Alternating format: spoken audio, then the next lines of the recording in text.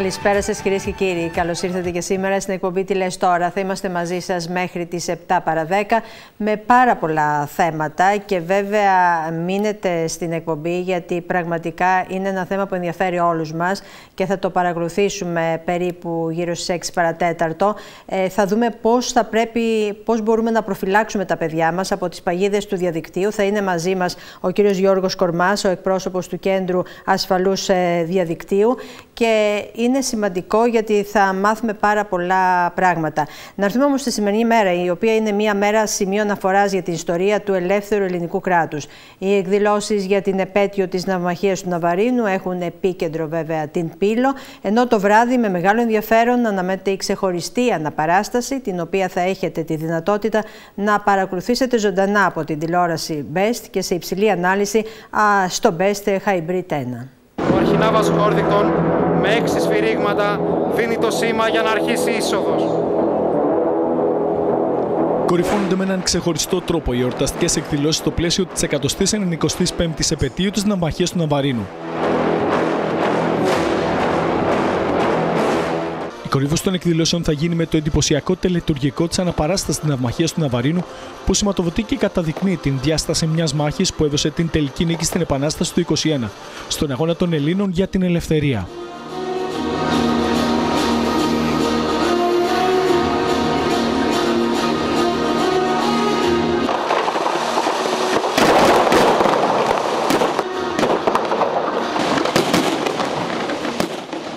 Παράδοση και πολιτισμός δεν είναι μόνο όσα κληρονομήσαμε, είναι και όσα δημιουργούμε, σημειώνουν χαρακτηριστικά οι διοργανωτέ τη εκδήλωσης.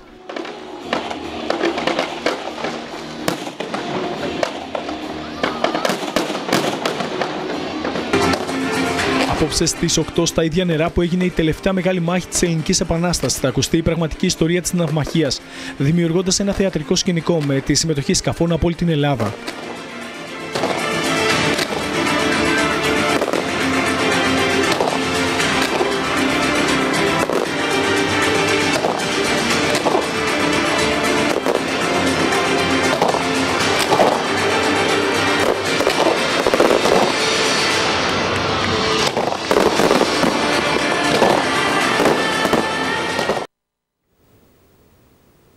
Πάμε τώρα στην Πύλο, όπου βρίσκεται η συνάδελφος η Γεωργία Αναγνωστοπούλου. Γεωργία, καλησπέρα. Καλησπέρα, Δέσποινα. Καλησπέρα και μου χρωστάς ακόμη να έρθω στην εκπομπή κανονικά, έτσι, διαζώσω να τα πούμε. Ε, γιατί κάθε το χρόνο δεσμεύομαι από τώρα. Το δεσμεύομαι.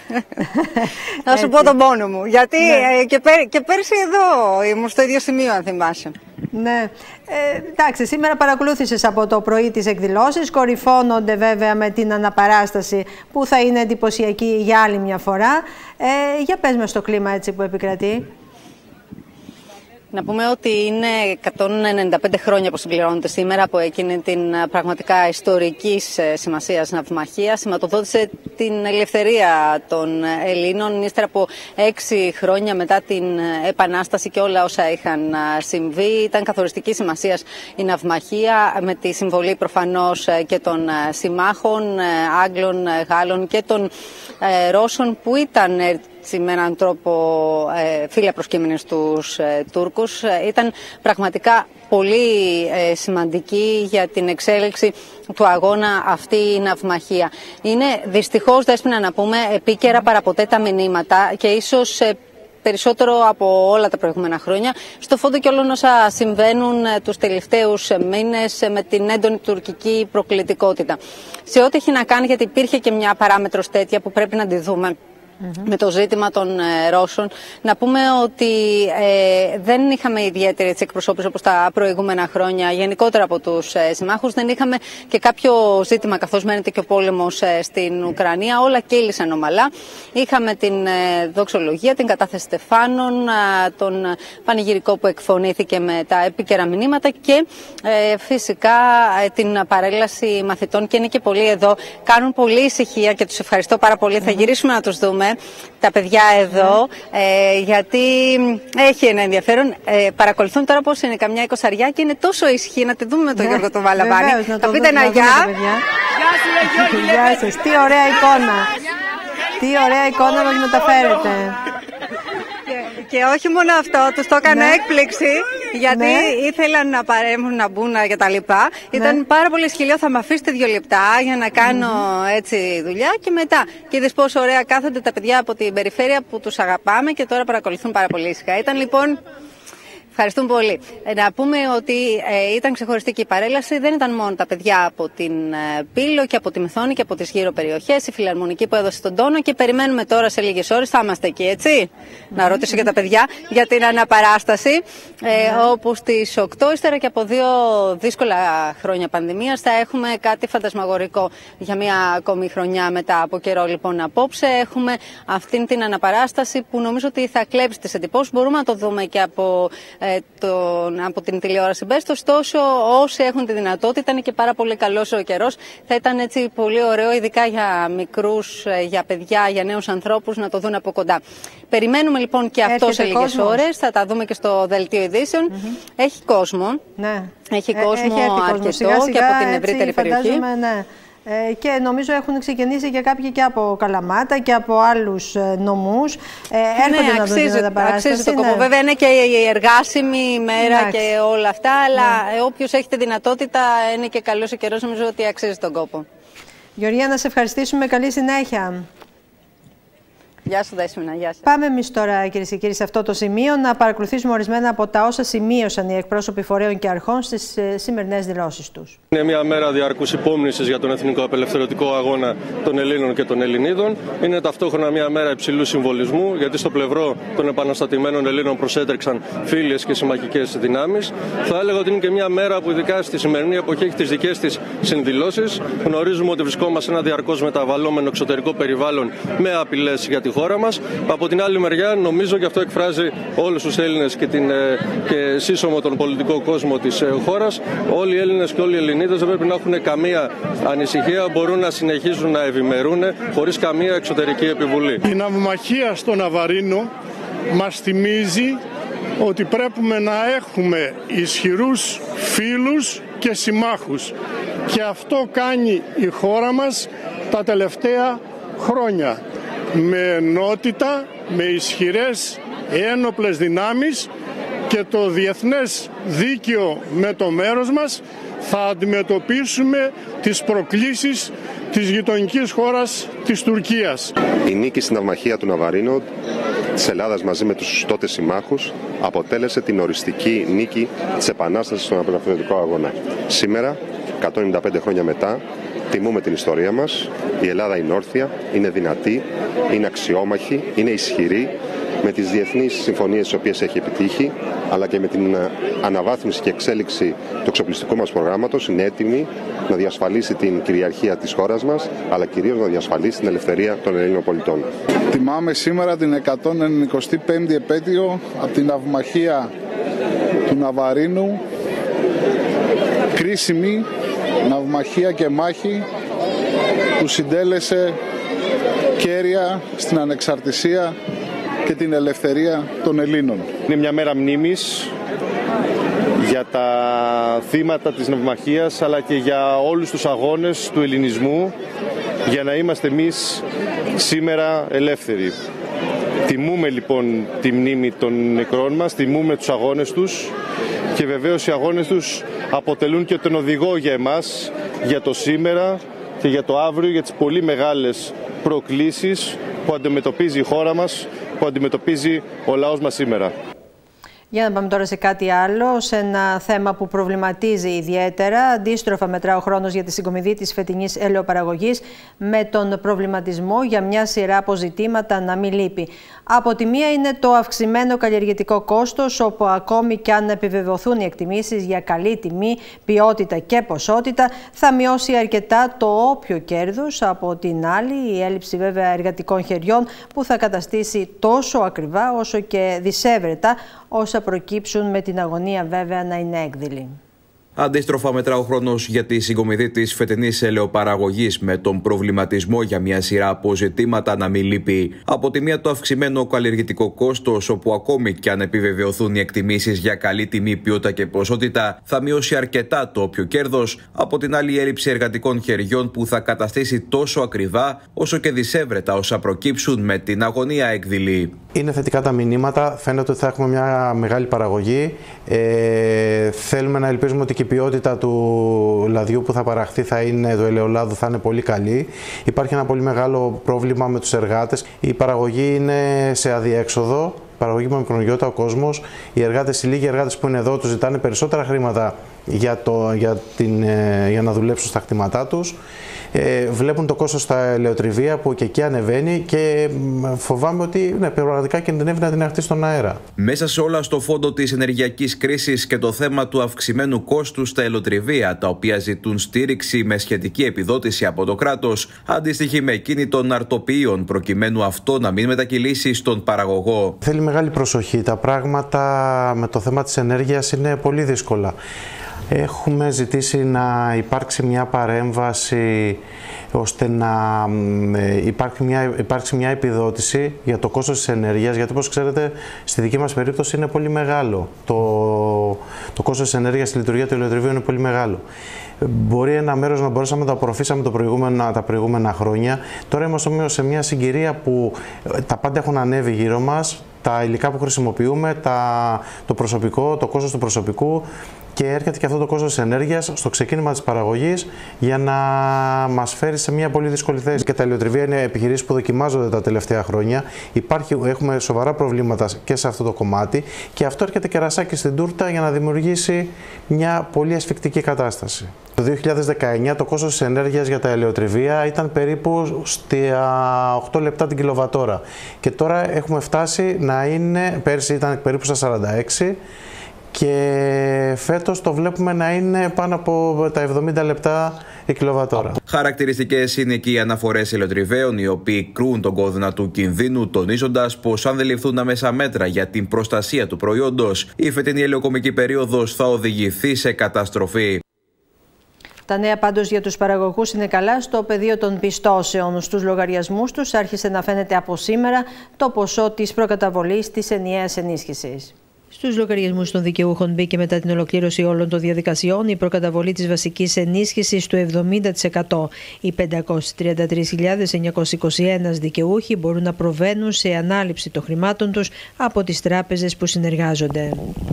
Η καταβολή του 70% της βασικής ενίσχυσης, δηλαδή για να μην μπερδεύονται και οι παραγωγοί, ένα ποσό περίπου το 40% του συνόλου της επιδότησης που δικαιούνται, έχει πιστωθεί ήδη στην Τράπεζα Πυραιός 650 εκατομμύρια ευρώ για περίπου 530.000 παραγωγούς. Είναι το πρώτο πακέτο πληρωμών. Παρότι το έργο φέτος ξεκίνησε πιο αργά από ποτέ και μας ταλαιπώρησε η αλήθεια είναι με πάρα πολλά ζητήματα, εξού και τελείωσε και πάρα πολύ αργά. Ξεκινήσαμε αργά και τελειώσαμε αργά. Τελικά η πληρωμή έγινε πιο νωρίς από ποτέ, γιατί συνήθως τα τελευταία έτη η πληρωμή γινόταν την τελευταία εβδομάδα του Οκτωβρίου.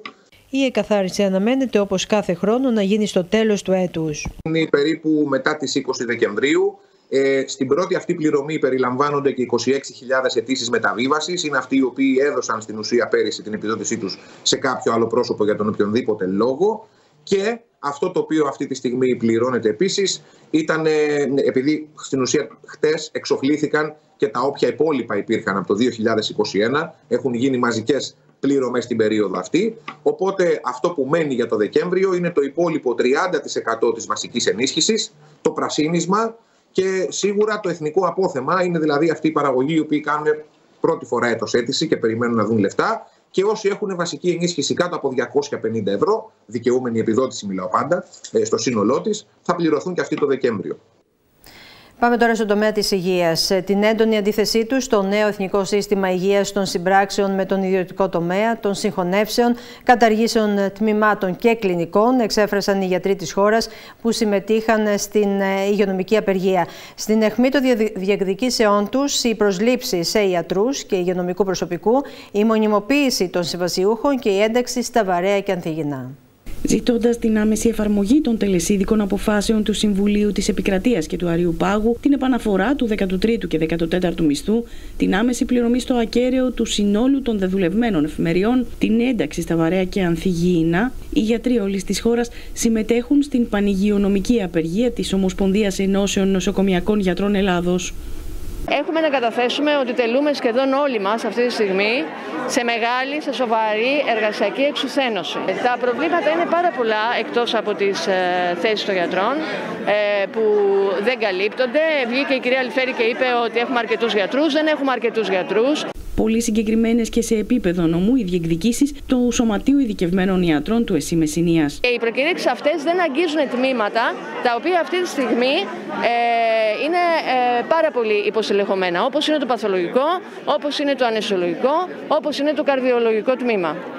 Ε, να μιλήσουμε και για τους ανεμβολίες του συναδέλφους μας, οι οποίοι ανέτεια ε, συνεχίζουν να βρίσκονται ε, εκτός νοσοκομείων. Θα έπρεπε να είχαν γίνει μαζικές προσλήψεις σε όλα τα τμήματα και στο νοσοκομείο της Καλαμάτης αλλά και στο νοσοκομείο της Κυπαρσίας. Αγωνιζόμαστε γι' αυτό ως σωματείο. Δυστυχώς υπάρχει έλλειψη, υπάρχει υποστελέχωση του νοσοκομείου, γίνονται βέβαια προσπάθειες σε αυτό αλλά ε, πρέπει να γίνουν ακόμα, ακόμα περισσότερες. Δυστυχώς έχετε ένας χειμώνας δύσκολος και πρέπει οπωσδήποτε να στελεχωθεί το νοσοκομείο με επιπλέον γιατρούς, ειδικά παθολόγους που έχουμε μεγάλη ανάγκη και έλλειψη σε αυτό το είδος της ειδικότητας. Εύχομαι ένα χειμώνα καλύτερο από ό,τι ήταν ε, πέρσι, με λιγότερα κρούσματα, γιατί ο κορονοϊός ακόμα δεν έχει φύγει και τα κρούσματα σιγά σιγά όσο θα αλλάξει ο καιρός τείνουν να αυξηθούν ε, αριθμητικά. Για να παραμείνουμε στο θέμα, είναι μαζί μας ο γραμματέας του Σωματείου Ειδικευμένων Γιατρών ΕΣΥ Μεσσηνία, ο κ. Μανώλης Μάκαρης. Καλησπέρα σας, κύριε Μάκαρη. Ε, γεια σας. Ε, Όντως... Κύριε Μάκαρη. Ναι, ε, σήμερα έτσι και με την απεργία σας αναδείχθηκαν μια σειρά αποζητήματα ε, και να τα αναφέρουμε. Ποια είναι αυτά που σας απασχολούν ως κλάδο; Ε, το μεγαλύτερο ζήτημα του κλάδου μας, ε, όπως γνωρίζετε, ε, είναι το γεγονός ότι δεν είναι, το, δεν είναι επαρκές το, το ιατρικό προσωπικό όσον αφορά τον αριθμό. Δηλαδή, έχουμε 40% ελλείψεις όσον αφορά τους, τους γιατρούς, τους μόνιμους ναι. γιατρούς. Ε, οι, τα κενά καλύπτονται από επικουρικούς, ε, οι, οι οποίοι βέβαια προσφέρουν πολύ σημαντικές υπηρεσίες, αλλά έχουν την αβεβαιότητα και το, ε, και το άγχος για, το τι, ε, για την επαγγελματική τους εξέλιξη. Ε, είναι σημαντικό επίσης να ενταχθεί ο κλάδος μας στα βαρέα και ανθυγιεινά επαγγέλματα, γιατί όπως γνωρίζετε το επάγγελμά μας είναι κατεξοχήν πρέπει να εντάσσεται σε αυτή την ε, κατηγορία. Ε, από εκεί πέρα ε, γνωρίζετε όπως πολύ ωραία ανέφερε προηγουμένως ο συνάδελφος ε, παθολόγος ε, έχουμε μπροστά μας ένα χειμώνα ένα χειμώνα τον οποίο όπως γνωρίζουμε γενικότερα τα νοσήματα αυξάνονται ιδιαίτερα τα παθολογικά νοσήματα αλλά και τα καρδιολογικά νοσήματα και γι' αυτό ε, θα πρέπει ε, το νοσοκομείο μας ε, όσο το δυνατόν περισσότερο να καλυφθούν οι θέσεις, οι μόνιμες θέσεις των γιατρών. Είναι πολλές αυτές οι θέσεις που πρέπει να καλυφθούν στο νοσοκομείο της Καλαμάτας; Ναι, ναι, μιλήσαμε τώρα για 40% ελλείψεις σε σχέση ε, με, τα, με το οργανόγραμμα και, και σε κάποιες ειδικότητες είναι ακόμα περισσότερο από αυτό το νούμερο το οποίο σας ε, δώσαμε. Ε, οπότε καταλαβαίνετε τι συμβαίνει ειδικά στις πολύ μάχημες ειδικότητες όπως είναι οι παθολόγοι, οι καρδιολόγοι, οι χειρουργοί. Ε, θα πρέπει οπωσδήποτε ε, το νοσοκομείο της, της Καλαμάτας αλλά και της Κυπαρισίας να στελεχωθεί, να γίνουν μαζικές προσλήψεις ιατρών ε, έτσι ώστε να έχουμε ε, ε, μια καλή περίθαλψη στους, στους ασθενείς. Ε, κύριε Μάκαρη, ε, οι ελλείψεις αυτές προκαλούν δυσλειτουργία στο νοσοκομείο. Ε, για παράδειγμα, οι ειδικότητες που έχουν να κάνουν με την παθολογική κλινική, που εντάξει είναι η, η κλινική η βασικότερη. ή, τα χειρουργία μετατίθεται για αργότερα, δηλαδή υπάρχουν καθυστερήσεις; Τι ακριβώς γίνεται; Ε, κοιτάξτε να δείτε, υπάρχουν καθυστερήσεις σε όλα τα επίπεδα. Ε, υπάρχουν καθυστερήσεις στα, στα επίγοντα, ε, υπάρχουν ε, καθυστερήσεις στις ε, τακτικές επεμβάσεις στα χειρουργεία, ε, υπάρχουν καθυστερήσεις μεγάλες όσον αφορά τα τακτικά ιατρία. όλα αυτά ε, σαφώς δημιουργούν τεράστια προβλήματα στην λειτουργία του νοσοκομείου. Ένα θέμα που είχατε θίξει και σε προηγούμενη συνάντησή μας είναι και αυτό των επιγόντων περιστατικών, το, το τμήματο επιγόντων περιστατικών. Εκεί ε, συνεχίζεται ο φόρτος να είναι αυξημένος, γιατί εντάξει, είχαμε την πανδημία, ε, τώρα βρισκόμαστε σε ένα άλλο έτσι, στάδιο. Πώς είναι η εικόνα εκεί, και έχουν καλυφθεί οι ε, θέσεις που εσείς είχατε ζητήσει; Ε, δυστυχώς δεν έχουν καλυφθεί οι θέσεις των επιγοντολόγων που θα πρέπει να υπάρχουν ε, στα επίγοντα του νοσοκομείου και αυτό έχει ως αποτέλεσμα τους, ε, την μεγάλη αναμονή ε, των ασθενών έτσι ώστε να εξεταστούν. Ε, σαφώς θα πρέπει να γίνει πρόσληψη, μαζική πρόσληψη όλων των ε, απαιτούμενων γιατρών για τη στελέχωση του τμήματος επιγόντων περιστατικών. Και βέβαια εδώ θα ήθελα έτσι να κάνουμε μια παρατήρηση ότι υπάρχουν πάρα πολλοί ασθενείς που πηγαίνουν στα επίγοντα ακόμα και αν αισθανθούν και κάποια διαθεσία, ακόμα και αν δεν είναι κάτι σοβαρό που αυτό σημαίνει ότι επιβαρύνει ακόμα περισσότερο έτσι, το φόρτο εργασίας που υπάρχει ήδη. Ναι, αυτό ακριβώς δείχνει την ε, έλλειψη της ε, πρωτοβάθμιας φροντίδας υγείας ε, έτσι ώστε όλοι οι ασθενείς και όλοι οι πολίτες να έχουν ε, την ε, απαιτούμενη πρωτοβάθμια φροντίδα υγείας. Εφόσον δεν υπάρχει η συγκεκριμένη πρωτοβάθμια φροντίδα υγείας, φυσικό είναι ε, να καταφεύγουν οι ασθενείς και όσοι νομίζουν ότι είναι ασθενείς στο νοσοκομείο. Ε, και είναι σημαντικό αυτό να το πούμε κύριε Μάκαρη, γιατί ε, είχα έτσι σήμερα ε, μια επικοινωνία με κάποιον ασθενή, ο οποίος ζήτησε ένα ρεντεβού στο Κέντρο Υγείας Καλαμάτας, για παράδειγμα, ε, και του είπαν ότι το πρώτο διαθέσιμο είναι το Δεκέμβριο, αρχές Δεκεμβρίου. Και όλοι κατανοούμε ότι είναι πάρα πολύ δύσκολο για έναν ασθενή να περιμένει μέχρι τον Δεκέμβριο για να εξεταστεί από το γιατρό ε, και όταν δεν έχει χρήματα να πάει σε έναν ιδιώτη γιατρό, καταλαβαίνουμε ότι θα προσφύγει στο νοσοκομείο. Ακριβώς. Και μάλιστα ε, θα έρθει στο νοσοκομείο, στα επίγοντα του νοσοκομείου και μάλιστα μερικές φορές όταν η υγεία του έχει, ε, έχουν υπάρξει προβλήματα στην υγεία του. Ε, άρα το σημαντικό είναι να δημιουργηθεί ε, πρωτοβάθμια φροντίδα υγείας έτσι ώστε έγκαιρα οι άνθρωποι ε, να βρίσκουν ε, την υγειά τους ε, στα αντίστοιχα ιατρία. Να σας πούμε αντίστοιχα ότι δεν είναι μόνο στο, στο κέντρο υγείας Καλαμάτας αλλά και στο νοσοκομείο της Καλαμάτας έχουμε μεγάλες αναμονές όσον αφορά τα τακτικά ιατρία. το βλέπουμε αυτό όταν ανοίγουν ο αριθμός των διαθέσιμων ραντεβού, ραντεβού τότε έχουμε ε, συνοστισμό ε, κόσμου ο οποίος έρχεται, περιμένει στην ουρά καρτερικά για να πάρει το πρώτο διαθέσιμο ραντεβού. Ε, αυτές ε, οι καταστάσεις είναι απαράδεκτες. Θα πρέπει να επανέλθει το τηλεφωνικό ραντεβού με βάση το 14500 και βεβαίως θα πρέπει να, να έχουμε τους γιατρούς που θα πρέπει έτσι ώστε να καλύπτονται έγκαιρα τα ραντεβού σε όλες τις ειδικότητες.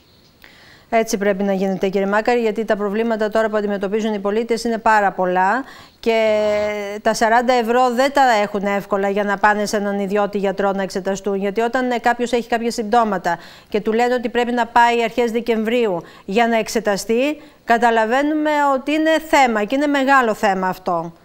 Ακριβώς είναι μεγάλο θέμα, πόσο μάλλον που είμαστε στην ε, post-COVID περίοδο, δηλαδή μετά την ε, περίοδο του, ε, του κορονοϊού. Υπάρχει και η λεγόμενη πάθηση long COVID, δηλαδή τα μακροχρόνια συμπτώματα και ασθένειες που έχουν όσοι έχουν νοσήσει από κορονοϊό, που ε, κατά κύριο λόγο ε, έχουν και καρδιαγιακά προβλήματα. Οπότε ένας λόγος παραπάνω να, έχουμε, να πρέπει να έχουμε ε, καλύτερη φροντίδα και καλύτερη θεραπεία. Μάλιστα. Τώρα από εκεί και πέρα όσον αφορά στις εφημερίες, τι γίνεται εκεί στο νοσοκομείο κύριε Μάκαρη; Ε, δυστυχώς σε κάποιες ειδικότητες λόγω έλλειψης προσωπικού έχουμε τη λεγόμενη υπερεφημέρωση. Δηλαδή ε, ο γιατρός μπορεί να εφημερεύει μέρα παραμέρα, να εφημερεύει σε διάφορες ε, ειδικότητες, ε, σε, σε διάφορες κλινικές, αυτό δημιουργεί τεράστια προβλήματα στη λειτουργία του νοσοκομείου αλλά κυρίως ε, στην, ε, στην υγεία των ίδιων των γιατρών και έχουμε πολλά παραδείγματα, δυστυχώς ε, παραδείγματα γιατρών που έχουν ασθενήσει με, με προβλήματα υγείας. Μάλιστα. Ε, και ένα ζήτημα έτσι που θίγεται συνεχώς είναι αυτό με τα βαρέα και ανθυγινά. Ε, και έτσι και ο απλός νους δεν το κατανοεί αυτό, ε, γιατί δεν ε, μπαίνει αυτό το επάγγελμα στα βαρέα και ανθυγινά. Ε, σαφώς είναι πολιτικό το θέμα και θα πρέπει η κυβέρνηση να δώσει, να δώσει λύση, όλα τα κόμματα να δώσουν μια λύση έτσι ώστε να τα, τακτοποιηθεί αυτό το πάγιο αίτημα όχι μόνο των γιατρών αλλά και των νοσηλευτών και όλων όσων ασχολούνται στην πρώτη γραμμή ε, στην, ε, στα νοσοκομεία και στα κέντρα υγείας. Κύριε Μάκαρη, εν κατακλείδη να πούμε ότι το βασικότερο βέβαια αίτημα είναι η στελέχωση των νοσοκομείων ε, και βέβαια και, και, πρέπει να το πούμε αυτό ότι έχουν γίνει προσπάθειες, προκυρήσονται έτσι προσλήψεις ιατρικού προσωπικού. Κάποιες από, αυτές, από αυτούς τους διαγωνισμούς είναι άγονοι. τι γίνεται τώρα σε αυτό το επίπεδο; Ε, κοιτάξτε να δείτε, εφόσον ε, πρέπει να γίνουν μαζικές προσλήψεις ε, γιατρών, αυτό λέμε ε, ως σωματείο ε, των γιατρών εσήμες αλλά αυτό λέμε και ως ΟΕΝΓΕ που είναι το, το ανώτατο συνδικαλιστικό όργανο των νοσοκομιακών γιατρών. Μονάχα οι μαζικές προσλήψεις γιατρών μπορούν να εξασφαλίσουν ότι θα έρθουν οι γιατροί γιατί ε, κανείς γιατρός δεν πηγαίνει σε ένα υποστελεχωμένο τμήμα. Μάλιστα. Και από ό,τι καταλαβαίνουμε αυτός είναι και ο ανασταλτικός ε, παράγοντας ε, που δεν, ε, δεν έρχονται, δεν υπάρχει και το κίνητρο, δεν υπάρχει έτσι και η στελέχωση που θα βοηθήσει. Είναι αυτό που λέγαμε και τις άλλες φορές ότι ένας γιατρός για να έρθει σε ένα νοσοκομείο θα πρέπει ε, να εξασφαλίσει και την ε, ποιότητα έτσι, της δουλειάς του. Δεν είναι να κάθεται μέρες ολόκληρες εκεί. Είναι ακριβώς, σημαντικό αυτό. Ακριβώς, ναι. όπως θα λέτε, γιατί ε, θα πρέπει να είναι σε, να είναι σε συνθήκες να, να μπορεί να έρθει, να ε, μπορεί να εργαστεί όπως, όπως αρμόζει στην επιστήμη του και όπως αρμόζει αλλά και στους ε, ασθενείς που πραγματικά θέλουν ένα γιατρό ε, να μην είναι εξουθενεμένος, να μην έχει εφημερεύσει την προηγούμενη μέρα. Θέλουν έναν, ένα γιατρό να μπορεί να αντιμετωπίσει τα προβλήματά τους με τον καλύτερο δυνατό τρόπο. Τώρα έτσι πριν κλείσουμε να πούμε και δύο λόγια γιατί εκείνο που ε, λέτε εσείς οι γιατροί είναι ότι θα είναι ένας δύσκολος χειμώνας γιατί θα έχουμε έτσι ε, ένα παζλ από κορονοϊό, γρήπη, ιώσεις. Έτσι θα είναι τα πράγματα φέτος; Ε, κοιτάξτε να δείτε πάντα στην... Ε, στα, το, κατά τη διάρκεια του χειμώνα έχουμε ε, αυξημένα περιστατικά ε, γρήπης, αυξημένα περιστατικά με λοιμώξεις αναπνευστικού, με παροξύσεις ΧΑΠ, με ε, εφράγματα του μυοκαρδίου, με ε, περιστατικά απορρίθμισης καρδιακής ανεπάρκειας. Αυτά τα, τα αναμένουμε, ε, αλλά πόσο μάλλον που έχει δημιουργηθεί και αυτό το πρόβλημα με το COVID, από το οποίο δεν έχουμε ξεμπλέξει εντελώς, ε, αλλά σαφώς η κατάσταση είναι πολύ καλύτερη σε σχέση με τα προηγούμενα χρόνια. Ε, όμως έχουμε το θέμα του long covid το οποίο θα πρέπει οπωσδήποτε να δούμε. Και επίσης έχουμε το γεγονός ότι ε, επειδή ο, ο κόσμος έχει ασχοληθεί, ασχολιόταν μάλλον το τελευταίο διάστημα μόνο με το covid έχει αφήσει τις άλλες μεγάλες παθήσεις τις οποίες έχει και τον προληπτικό Αυτό, ε, αυτό δημιουργεί τεράστια προβλήματα, ιδιαίτερα για, την, ε, για τον χώρο της ε, καρδιολογίας, ε, που βλέπουμε νέους ανθρώπους ε, να παθαίνουν έφραγμα ε, και επίσης βλέπουμε και μεγαλύτερους ανθρώπους σε ηλικία να έχουμε ε, καρδιακή, ε, απορριθμίσεις στην καρδιακή τους ανεπάρκεια, να έχουμε εμφάνιση κολπικής μαρμαργής και διαφόρων άλλων παθήσεων. Άρα σίγουρα θα έχουμε ένα, ένα χειμώνα που θα πρέπει να εξοπλιστούμε με, με υπομονή και με αγωνιστική διάθεση να αντιμετωπίσουμε τα, τα μεγάλα προβλήματα των, των ασθενών. Βέβαια και οι ίδιοι ασθενείς θα πρέπει ιδιαίτερα όταν έχουν καρδιολογικό θέμα να μην αμελούν την, την εξέταση, τον τακτικό έλεγχο και αν αντιμετωπίσουν κάποιο επίγον περιστατικό σαφώς να έρθουν στο νοσοκομείο. Κύριε Μάκαρη, να σας ευχαριστήσουμε για την παρέμβαση. Καλή συνέχεια. Να, να είστε καλά. Γεια σας. Γεια σας. Λοιπόν, ε, να πάμε τώρα σε κάτι άλλο, γιατί πραγματικά είναι ανάμεικτα τα συναισθήματα και είναι ήδη ε, από την ανακοίνωση από την προαναγγελία θα λέγαμε για την ακρίβεια των τιμολογίων του ηλεκτρικού ρεύματος για το μήνα Νοέμβριο, καθώς κάποιοι θα κληθούν να πληρώσουν 25% λιγότερο και άλλοι 70% περισσότερο. Σημαντικά μειωμένοι αναμένονται οι νέοι λογαριασμοί ρεύματος για το μήνα Νοέμβριο. Οι πάροχοι ανακοινώνουν τις ανταγωνιστικές χρεώσεις για τον επόμενο μήνα, οι οποίες δεν αποκλείεται να είναι ακόμη και κάτω από τα επίπεδα του περασμένου Αυγούστου. Το ρεύμα έρχεται πολύ. Μας έχουν βέβαια μια εκτοσούλα, αλλά έρχεται πολύ το ρεύμα, έρχεται πολύ ψηλά. Και πώς θα βγει ο χειμώνας; Ευτυχώς που έχουμε ήλιο τώρα εδώ πέρα. Τι άκραμε, κοιμόμαστε με τις αρβίλε. Βέβαια, δύσκολα, πολύ δύσκολα. Δε. Με το ρεύμα δεν ξέρουμε τι θα γίνει τώρα. Οι τιμές των παρόχων αναμένονται έως και 30% κάτω συγκριτικά με τις αντίστοιχες του Οκτωβρίου. Κάτι που σημαίνει ότι μια κιλοβατόρα θα τιμολογηθεί στην περιοχή περίπου των 45 λεπτών χωρίς την κρατική επιδότηση. Η αντίστοιχη τιμή για τον Οκτώβριο ήταν στα 60 λεπτά. Προς το παρόν, καλή ήταν η τιμή που μας ήρθε με τη ΔΕΗ. Τώρα, μέχρι τώρα καλά μας ήρθε. Πληρώσαμε και λιγότερα από πέρυσι, για να πω την αλήθεια. Με τις μειώσεις. Πτωτικά θα κινηθούν και οι επιδοτήσεις του κράτους, με αποτέλεσμα η τελική τιμή λιανικής να διαμορφωθεί και πάλι για τα νοικοκυριά που καταναλώνουν έως και 500 κιλοβατόρες περίπου στα 16 με 17 λεπτά κατά μέσο όρο. Άρα τα περισσότερα νοικοκυριά δεν θα δουν ουσιαστική διαφοροποίηση στους λογαριασμούς του ηλεκτρικού ρεύματος για το μήνα Νοέμβριο. Εμείς ότι προσπαθούμε με, με την κουβέρθες θα σου πω. Ανάβουμε το πρωί και το βράδυ. Το μεσημέρι θα κάνουμε βόλτα. Με το ηλεκτρικό ρεύμα πιστεύω ότι φέτος θα είναι όντως πολύ δύσκολος ο χειμώνας για όλους μας. Αν μπορεί να κάνει κάτι άλλο το κράτος πρέπει να το κάνει πολύ γρήγορα. Γιατί ο κόσμος είναι στενοχωρημένος οικονομικά. Και ενώ άλλοι θα κληθούν να πληρώσουν 25% λιγότερο, κάποιοι θα πληρώσουν έως και 70% περισσότερο. Κερδισμένοι θα βγουν και οι επαγγελματίες, οι οποίοι θα δουν σημαντική μείωση στον λογαριασμό του Νοεμβρίου. Επιχειρήσεις και επαγγελματίες θα πρέπει να προσβλέπουν σε μια σημαντική εξοικονόμηση της τάξεως του 25%. Και ούτε τα θέλω να τα βλέπω μαύρα. Απλά έρχεται ένα τρίμηνο, τετράμινο που από ό,τι ακούς θα είναι δύσκολα γενικά. Πόσο μάλλον σε ένα μαγαζί εστίασης που τα βλέπετε τα φώτα ανάβουν από τώρα, έτσι. Δεν μπορεί να έρθεις να φας, να διασκεδάσεις και να σου έχω κλειστά τα φώτα. Ε, δεν γίνεται αυτό το πράγμα. Οι φριτέζε μέσα δουλεύουν. Ε, λογικά πράγματα. Δεν τα λέω για να κλαφτούμε ούτε. Αυτή είναι η πραγματικότητα. Θα υπάρξουν ωστόσο και οι χαμένοι, καθώς την περίοδο αυτή συμπληρώνονται τα δύο χρόνια από το λανσάρισμα των πρώτων σταθερών τιμολογίων που είχαν παρουσιάσει οι πάροχοι ηλεκτρικής ενέργειας, δίνοντας στους καταναλωτές τη δυνατότητα να κλειδώσουν τα τιμολόγια τους στα 10 και 11 λεπτά ανά κιλοβατόρα. Πάμε τώρα κυρίες και κύριοι σε ένα σύντομο διαφημιστικό διάλειμμα και επιστρέφουμε.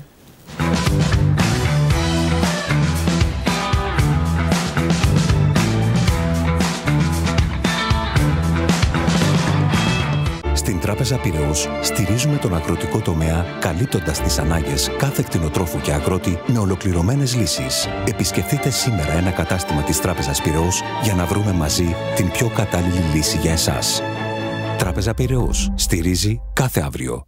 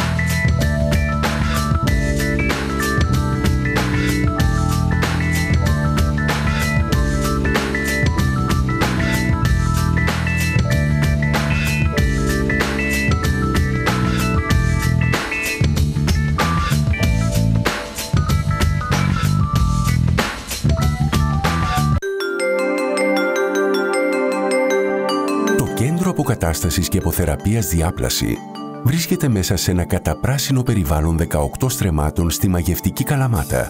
Είναι δυναμικότητας 97 κλινών. Η διάπλαση ακολουθεί το σκανδιναβικό μοντέλο αποκατάστασης. Με την επιστημονική γνώση, τη φροντίδα αλλά και την αγάπη των ανθρώπων της, βοηθάει τους ασθενείς να επανενταχθούν χωρίς προβλήματα στο εργασιακό και κοινωνικό τους περιβάλλον.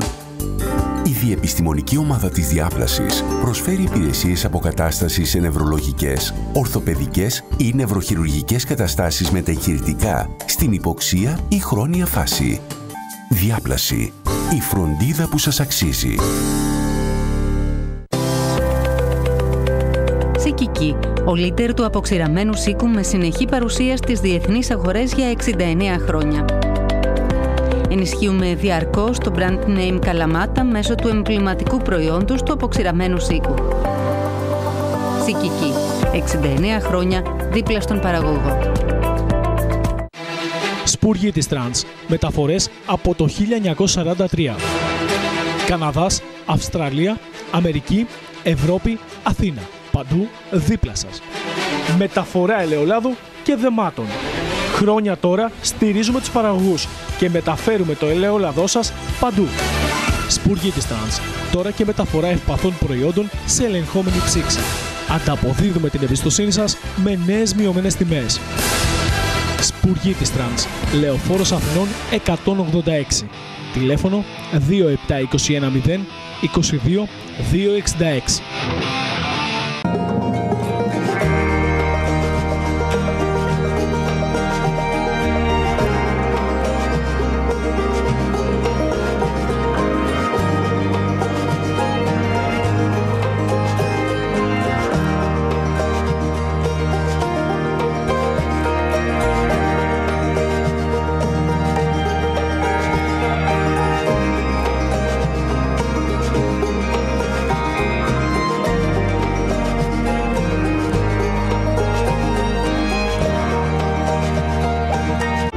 Τράπεζα Πυραιός στηρίζουμε τον αγροτικό τομέα καλύπτοντας τις ανάγκες κάθε κτηνοτρόφου και αγρότη με ολοκληρωμένες λύσεις. Επισκεφτείτε σήμερα ένα κατάστημα της Τράπεζας Πυραιός για να βρούμε μαζί την πιο κατάλληλη λύση για εσάς. Τράπεζα Πυραιός στηρίζει κάθε αύριο.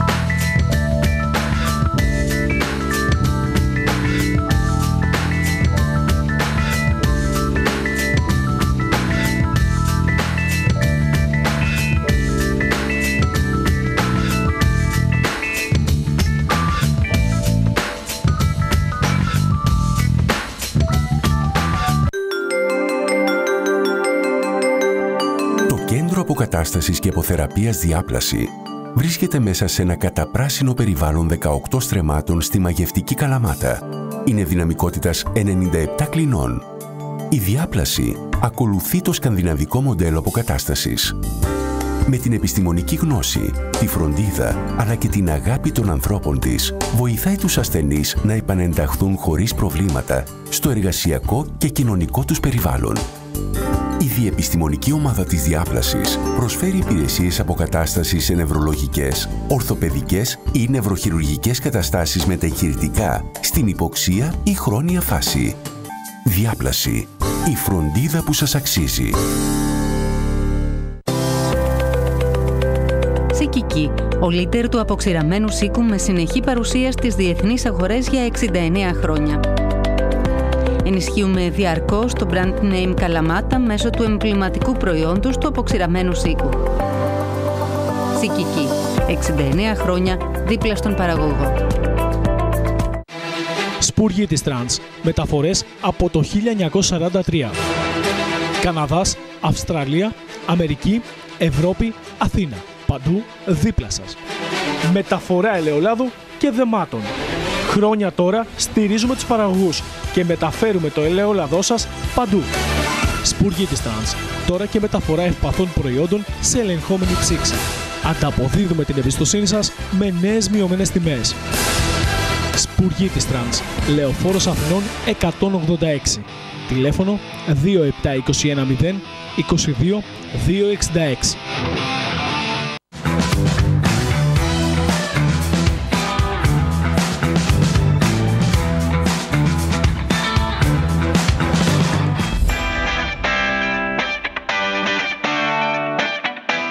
Κύριοι, να δούμε κάτι πάρα πολύ σημαντικό. Με αφορμή τα όσα έχουν δει το φως της δημοσιότητας στο τελευταίο διάστημα, οι συμβουλές από ειδικούς ε, στους γονείς για την πρόληψη της σεξουαλικής αποπλάνησης ανηλίκων μέσω διαδικτύου είναι αμή τι άλλο απαραίτητη. Έχουμε μαζί μας τον εκπρόσωπο του Κέντρου Ασφαλούς Διαδικτύου, τον κύριο Γιώργο Κορμά. Καλησπέρα σας. Καλησπέρα, καλησπέρα. Κύριε Κορμά, ε, έχουμε συγκλονιστεί όλοι με αυτή την υπόθεση της μαστροπίας εις βάρος ενός ανήλικου κοριτσιού που σημαντικό ρόλο παίζει το διαδίκτυο.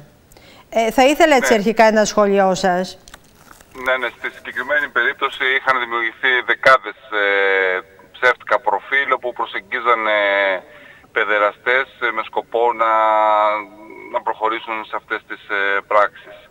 Η αλήθεια είναι ότι τα παιδιά μας ε, στα κοινωνικά ε, δίκτυα, κυρίως στα, στο TikTok και στο Instagram, ουσιαστικά είναι μόνα τους, προσεγγίζονται από τον οποιοδήποτε, ε, είτε παρουσιάζοντας ένα ψεύτικο προφίλ, το λεγόμενο grooming και είναι συνομήλικο, ότι είναι και καλά συνομήλικος ε, το προφίλ αλλά, αλλά και κανονικά ενηλίκων.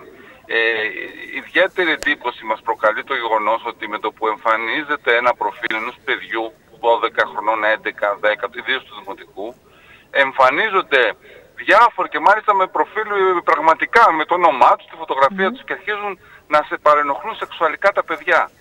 Είναι απίστευτο αυτό που συμβαίνει, το έχουμε επισημάνει πάρα πολλές φορές ε, να, να ενημερώσουμε τώρα τους ε, τηλεθεατές ότι στο, ναι. με το άρθρο 339 του ποινικού κώδικα η παρενόχληση σεξουαλικής σε ενηλίκων σε παιδιά ε, είναι φυλάκιση μέχρι δύο έτη και η mm. κατά συνήθεια παρενόχληση μέχρι και συνάντηση παιδιών ε, με ενήλικες είναι, φτάνει τα τρία έτη.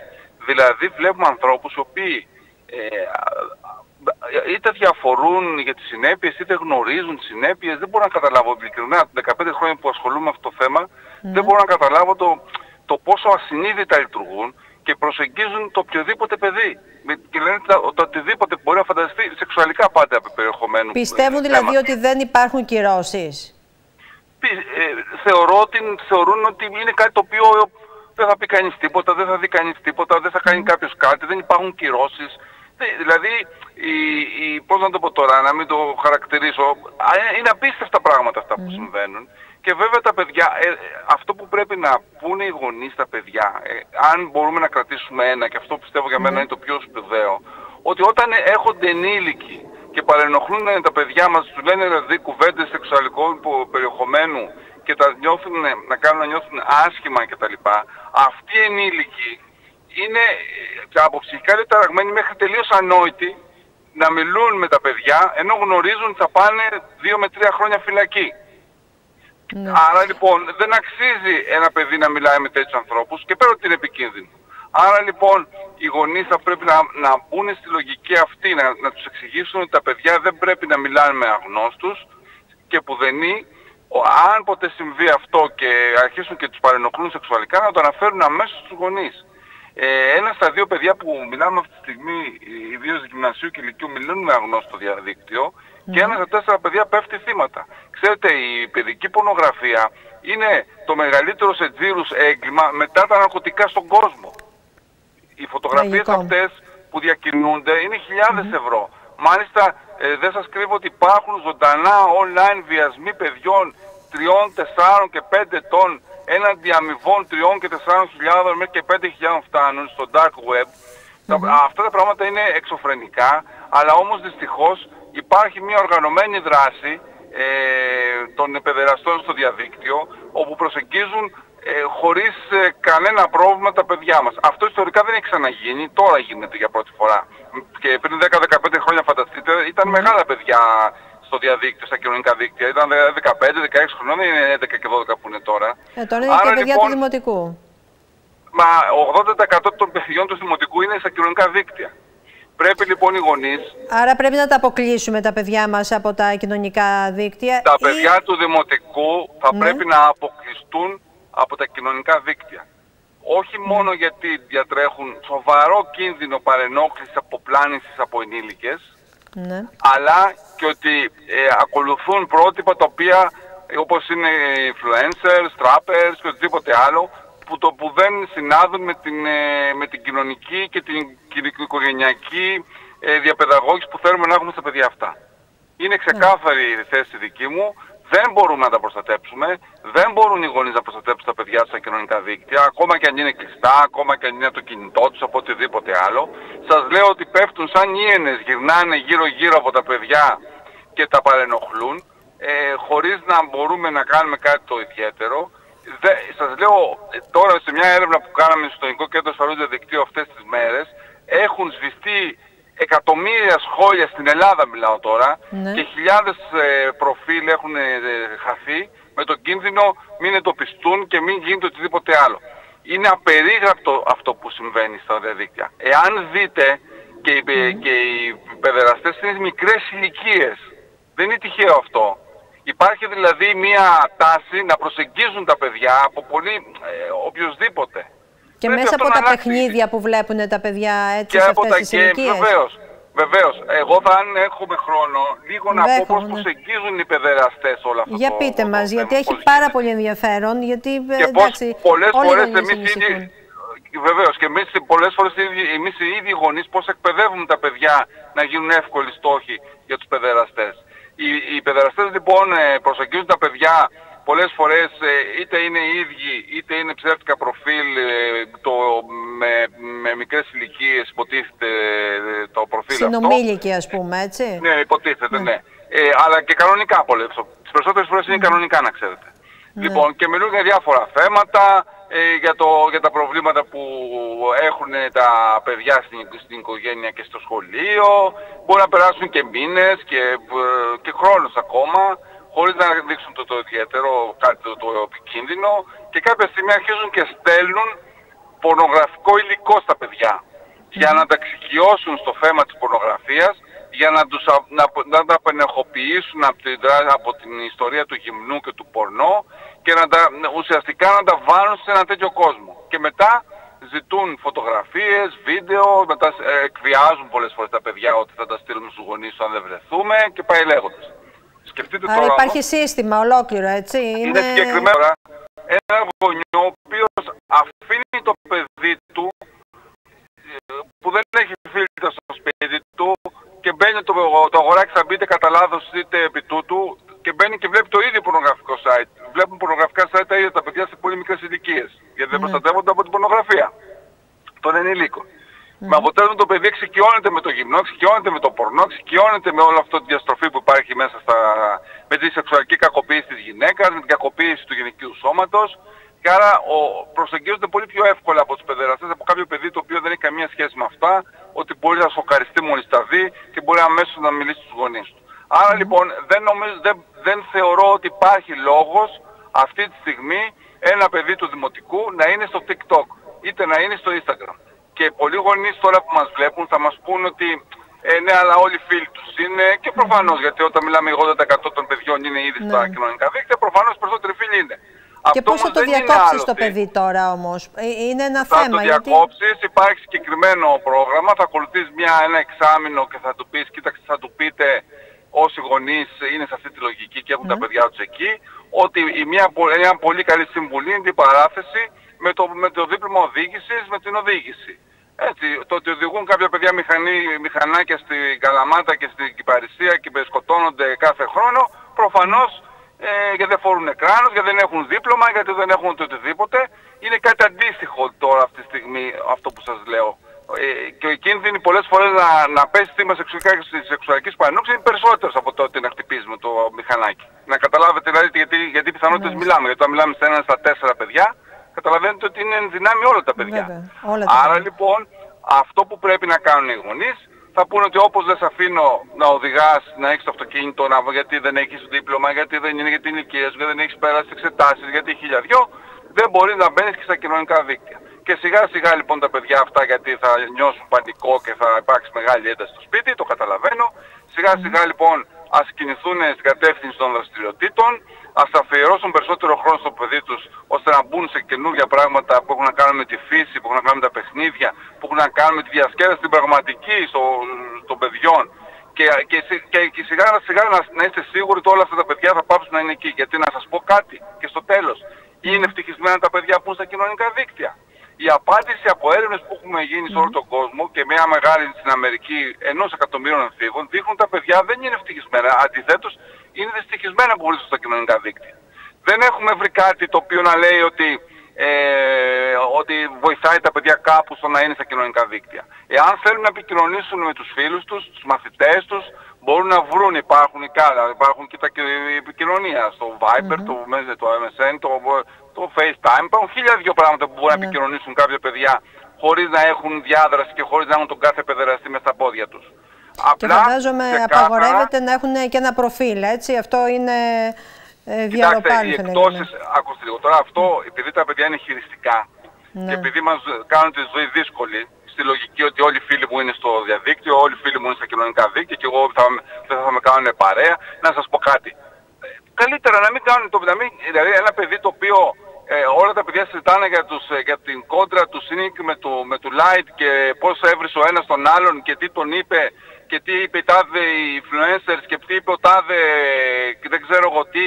Προφανώς δεν είναι, κου- αυτές οι κουβέντες δεν, πιστέψτε με δεν βοηθάνε τίποτα στα παιδιά. Έτσι ίσα ίσα δημιουργούν και τα λάθος πρότυπα. Άρα μη στενοχωριόνται οι γονείς αν δεν συζητήσουν για το τι, πώς έβρισε και πώς προκάλεσε ο ένας τράπερ τον άλλον σε, σε, σε μάχες στο δρόμο και οτιδήποτε άλλο. Απ- Ας δούνε, ας βρουν παιδιά, ας βρουν παρέες, ας βρουν γονείς οι οποίοι τα παιδιά τους δεν είναι στα κοινωνικά δίκτυα και να αρχίσουν να κάνουν παρέες και να μιλούν τα παιδιά για πράγματα της ηλικίας τους. Γιατί ένα παιδί 8 και 9 χρονών δεν μπορεί να κάθεται και να ακούει τραπ ε, για ναρκωτικά, για πορνεία, για βία, για μ, ξεκαθάρισμα λογαριασμών και όπλα.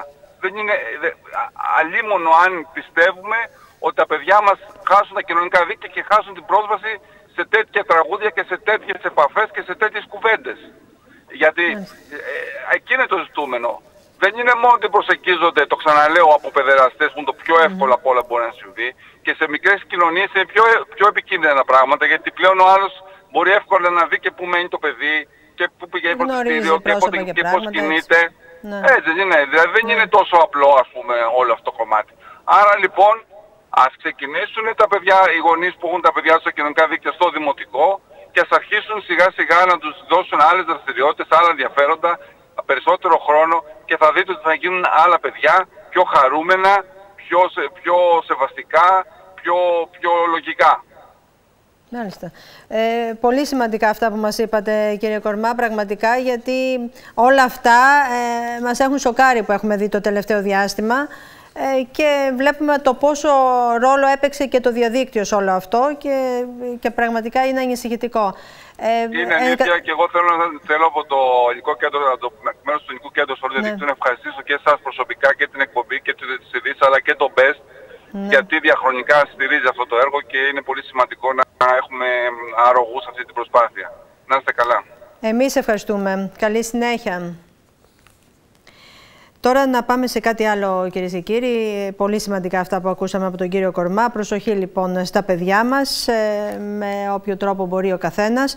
Ε, τώρα να πάμε σε κάτι άλλο. Το Olympium Forum αποτελεί μια πλατφόρμα ανάδειξης αναπτυξιακών πρωτοβουλειών και πρακτικών καλής διακυβέρνησης εντός των Ευρωπαϊκών Διαρθωτικών και Επενδυτικών Ταμείων για το σχεδιασμό και την εφαρμογή καινοτόμων στρατηγικών περιφερειακής ανάπτυξης στην Ελλάδα. Σήμερα η αρχή έγινε στο Ζάπιο και αύριο μεταφέρεται στην αρχαία Ολυμπία, όπου επιτάπητος θα τεθούν οι προκλήσεις του, της περιφερειακής ανάπτυξης σε εθνικό και ευρωπαϊκό επίπεδο. Οι καλές πρακτικές Δήμων και χωρών, τα νέα δεδομένα για την ενσωμάτωση των 17 στόχων του ΟΗΕ βρίσκονται στο επίκεντρο του Olympia Forum 3, που πραγματοποιείται σήμερα στο Ζάπιο και θα συνεχιστεί αύριο και μεθαύριο στη Διεθνή Ολυμπιακή Ακαδημία στην Αρχαία Ολυμπία.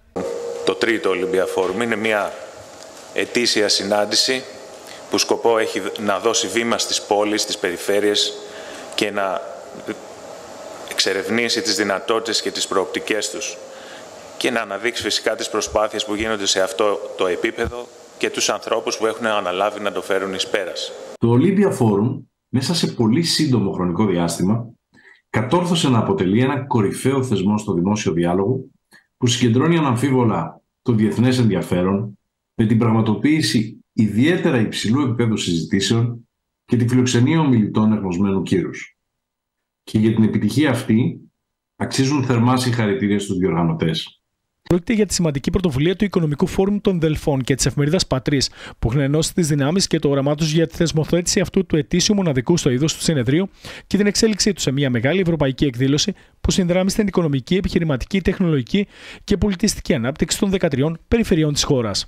Το Olympia Forum είναι ένα συνέδριο για την περιφερειακή ανάπτυξη που έχει εξελιχθεί σε μια μεγάλη ευρωπαϊκή εκδήλωση.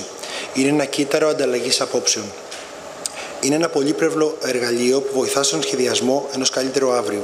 Σε έναν κόσμο που αλλάζει ραγδαία, η αυτοδιοίκηση δεν μπορεί να παραμείνει στατική.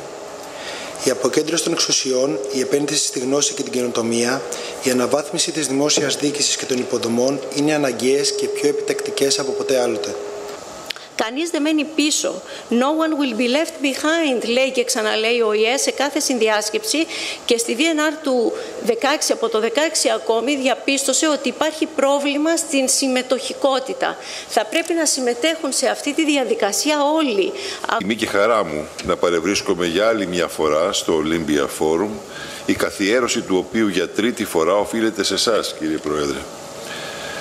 Η προώθηση ιδεών που ενισχύουν την ελληνική περιφέρεια αποτελεί στόχο όλων μας, γιατί έτσι ενδυναμώνεται και η πίστη ότι το μέλλον της χώρας μας στηρίζεται στην αναβάθμισή της, σε όλα τα επίπεδα ενδιαφέροντος. Πάμε τώρα κυρίες και κύριοι σε ένα σύντομο διαφημιστικό διάλειμμα και επιστρέφουμε.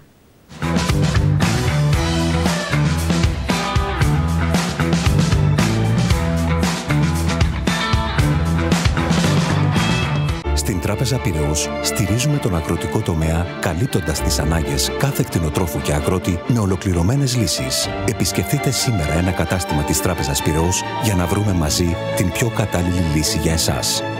Τράπεζα Πυραιός στηρίζει κάθε αύριο. Το Κέντρο Αποκατάστασης και Αποθεραπείας Διάπλαση βρίσκεται μέσα σε ένα καταπράσινο περιβάλλον 18 στρεμάτων στη μαγευτική Καλαμάτα. Είναι δυναμικότητας 97 κλινών. Η διάπλαση ακολουθεί το σκανδιναβικό μοντέλο αποκατάστασης. Με την επιστημονική γνώση, τη φροντίδα αλλά και την αγάπη των ανθρώπων της, βοηθάει τους ασθενείς να επανενταχθούν χωρίς προβλήματα στο εργασιακό και κοινωνικό τους περιβάλλον.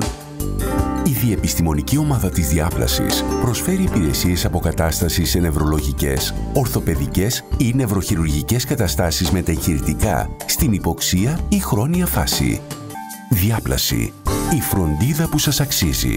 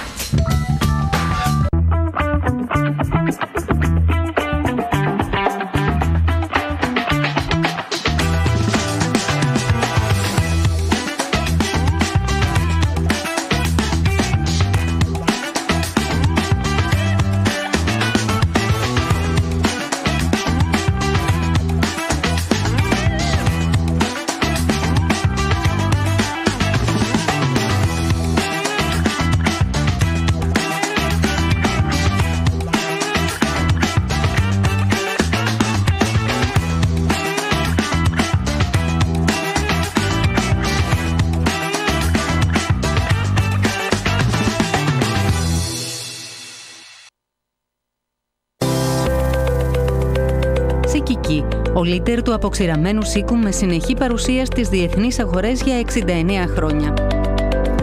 Ενισχύουμε διαρκώς το brand name Καλαμάτα μέσω του εμβληματικού προϊόντος του αποξηραμένου σίκου. Σικική, 69 χρόνια δίπλα στον παραγωγό.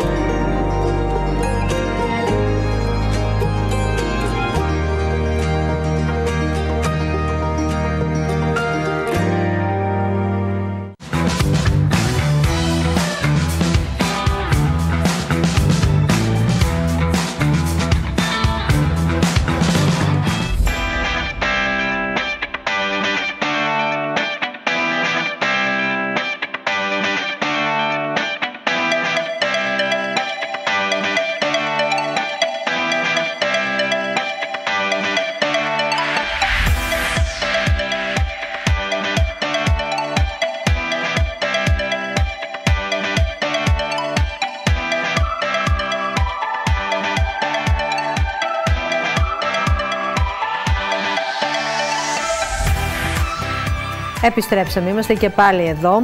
Ε, εν ώψη ε, της απεργίας που θα πραγματοποιηθεί 9 Νοεμβρίου, που έχουν προκηρύξει η ΓΕΣΕ και ΑΔΔ, ε, και το Συνδικάτο των Οικοδόμων ε, της Μεσσηνίας έχει ξεκινήσει δράσεις ε, για την προετοιμασία της κινητοποίησης. Είναι μαζί μας ο πρόεδρος του Συνδικάτου Οικοδόμων Μεσσηνίας, ο κ. Παναγιώτης Καράμπελας. Καλησπέρα σας. Καλησπέρα και σε εσάς κύριε Λιγούλου.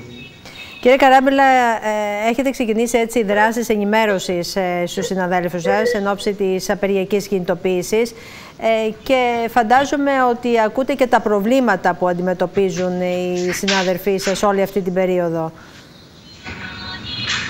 Ναι, έχει πολύ μεγάλη αποδοχή η προπαγάνδα που κάνουν για την απεργία γιατί όλοι γνωρίζουμε ότι τα πράγματα μέρα με τη μέρα δυσκολεύουν και είναι χειρότερα όσο περνάει ο καιρός. Και εμείς ε, πήραμε απόφαση, ε, πήρε η Ομοσπονδία μας και πανελλαδικά όλοι οι οικοδόμοι 9 Νοέμβρη, μέρα Τετάρτη, ε, θα δηλώσουμε τη διαμαρτυρία μας ενάντια στην ακρίβεια και μέτρα ασφαλείας, τα προβλήματα που υπάρχουν στους χώρους δουλειάς που είναι χρόνια τώρα, διονύζονται και οι συνάδελφοι κάναμε συζητήσεις στους χώρους δουλειάς, κάναμε συσκέψεις δεν έχουμε Ε, και όπως πάντα συνεχίζουμε γιατί ε, ενημερώνουμε για την απεργία. Ξεκινάμε ένα-ενάμιση μήνα πριν νωρίτερα για να, να φτάσει σε περισσότερο κόσμο το κάλεσμα να γίνει πιο έντονος στους χώρους δουλειάς η συζήτηση για τα προβλήματα και τις διεκδικήσεις μας. Ποια είναι τα ζητήματα που απασχολούν τον κλάδο; Το, το πρώτο και κύριο στιγμή είναι η ακρίβεια που και το κλάδο το δικό μας αλλά και γενικότερα τον κόσμο. Τον έχει καθυλώσει γιατί είναι κάτι το οποίο αν πούμε ότι ο κόσμος έχει συνηθίσει σε κάποιες αυξήσεις σιγά σιγά σιγά όλα τα χρόνια αυτά στο ρεύμα, στο νερό, στα προϊόντα αυτά που γνωρίζετε πολύ καλά και εσείς και όλος ο κόσμος που γίνανε με το ρεύμα, με τη βενζίνη και με τα τρόφιμα ήταν κάτι πολύ έντονο. Και αν και η Ομοσπονδία μας είναι η μοναδική που κατάφερε και υπόγραψε συλλογική σύμβαση εργασίας πριν τέσσερις μήνες περίπου με αυξήσεις στα μεροκάματα μέχρι και 36% στο Μάστορα. Ναι. Ε, ήμασταν προετοιμασμένοι και λέγαμε στους συναδέλφους ότι παιδιά κατακτήσαμε αυτό με τις μάχες και τους αγώνες μας, αλλά δεν σταματάμε γιατί πολύ πιθανό να γίνουν μεγάλες αυξήσεις και ότι κερδίσαμε να, να το χάσουμε. Και πράγματι αυτό έχει Ε, και το πρόβλημα πλέον είναι ακόμα και στο να πάει κάποιος στη δουλειά στο να είναι γερός, υγιής και δυνατός, να συντηρείται σαν άνθρωπος να συνεχίσει, πλέον υπάρχουν και εκεί τα προβλήματα. Ναι. Αυτό είναι το κυριότερο. Ε, υπάρχουν ε, δηλαδή και ζητήματα ασφάλειας γενικότερα στο κλάδο που δεν έχουν επιληθεί ακόμα; Ε, τα, συνεχίζονται τα, οι μη, τα, τα μέτρα ασφαλείας να μην είναι επαρκή. Ε, ειδικά τους καλοκαιρινούς μήνες τώρα είχαμε πολλές ε, καταγγελίες ε, για, και για πίεση χρονοδιαγράμματος ότι έπρεπε να τελειώσουν επειδή ήταν ο καλοκαιρινός ε, ο τουρισμός, η περίοδος καλοκαιρινή όλη. Ε, η εντατικοποίηση της εργασίας, τα μη επαρκή μέτρα ασφαλείας έχουν οδηγήσει σε αρκετούς τραυματισμούς, δυστυχώς μέσα στο καλοκαίρι.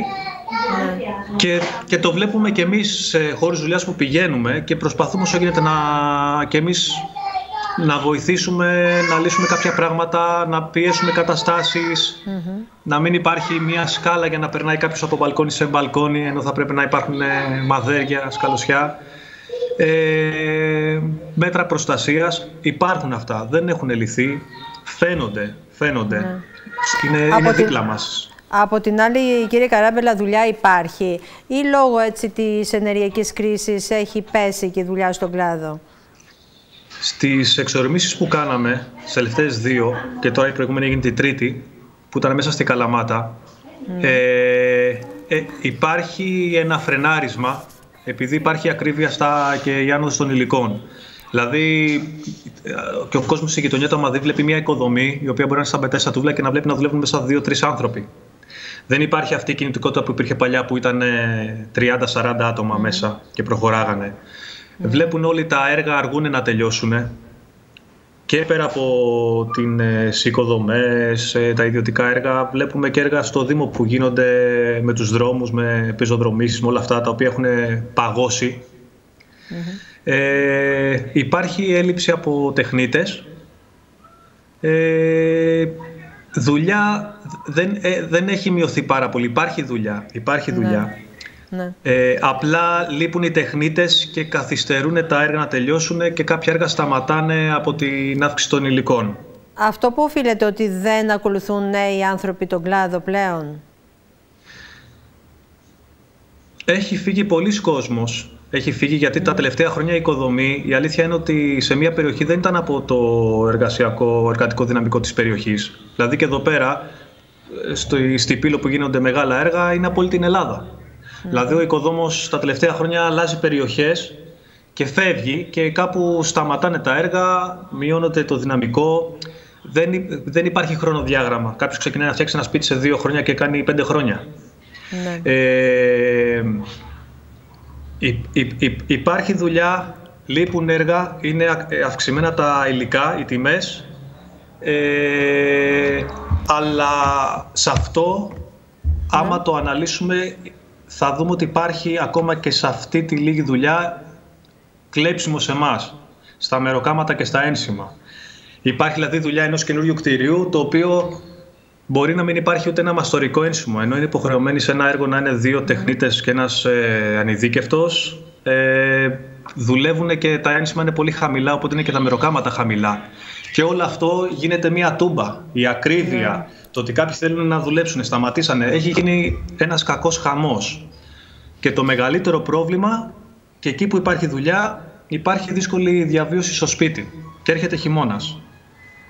Μάλιστα. Συνεπώς, ε, κύριε Καράμπελα, τι διεκδικείτε; Ε, ο κόσμος πρέπει να αντιδράσει για τα πάντα πλέον. Και τα τελευταία χρόνια έχουμε κάποια βασικά αιτήματα, αλλά δεν πήγαμε τα τελευταία χρόνια για τρία-τέσσερα αιτήματα. Ε, το μεγάλο αίτημα είναι ότι πρέπει να ζήσουμε ανθρώπινα. Αυτό είναι το μεγάλο αίτημα ε, να σταματήσει σε εμάς τους οικοδόμους αυτή η ταλαιπωρία με τις πολλές ώρες εργασίας, με το κλέψιμο των ενσύμων μας ε, και να ζήσουμε όλη τη ζωή που μας αξίζει.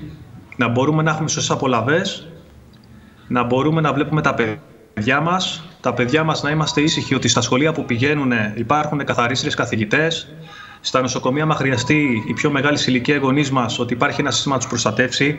Είναι αυτό που λέμε τα τελευταία χρόνια και ο κόσμος το ξέρει, ότι το σύστημα είναι γενικότερο. Το, το κακό είναι γενικότερο, είναι πολύ μεγάλο.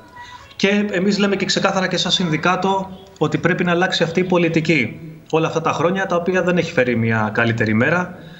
Κάποιοι πλουταίνουν, συνεχίζουν. Τα αποτελέσματα είναι μπροστά σε όλους επιχειρήσεις μεγάλες οι οποίοι αυξάνουν τους τζίρους τους και αυτό γίνεται επειδή χαμηλώνουν τα δικά μας έσοδα.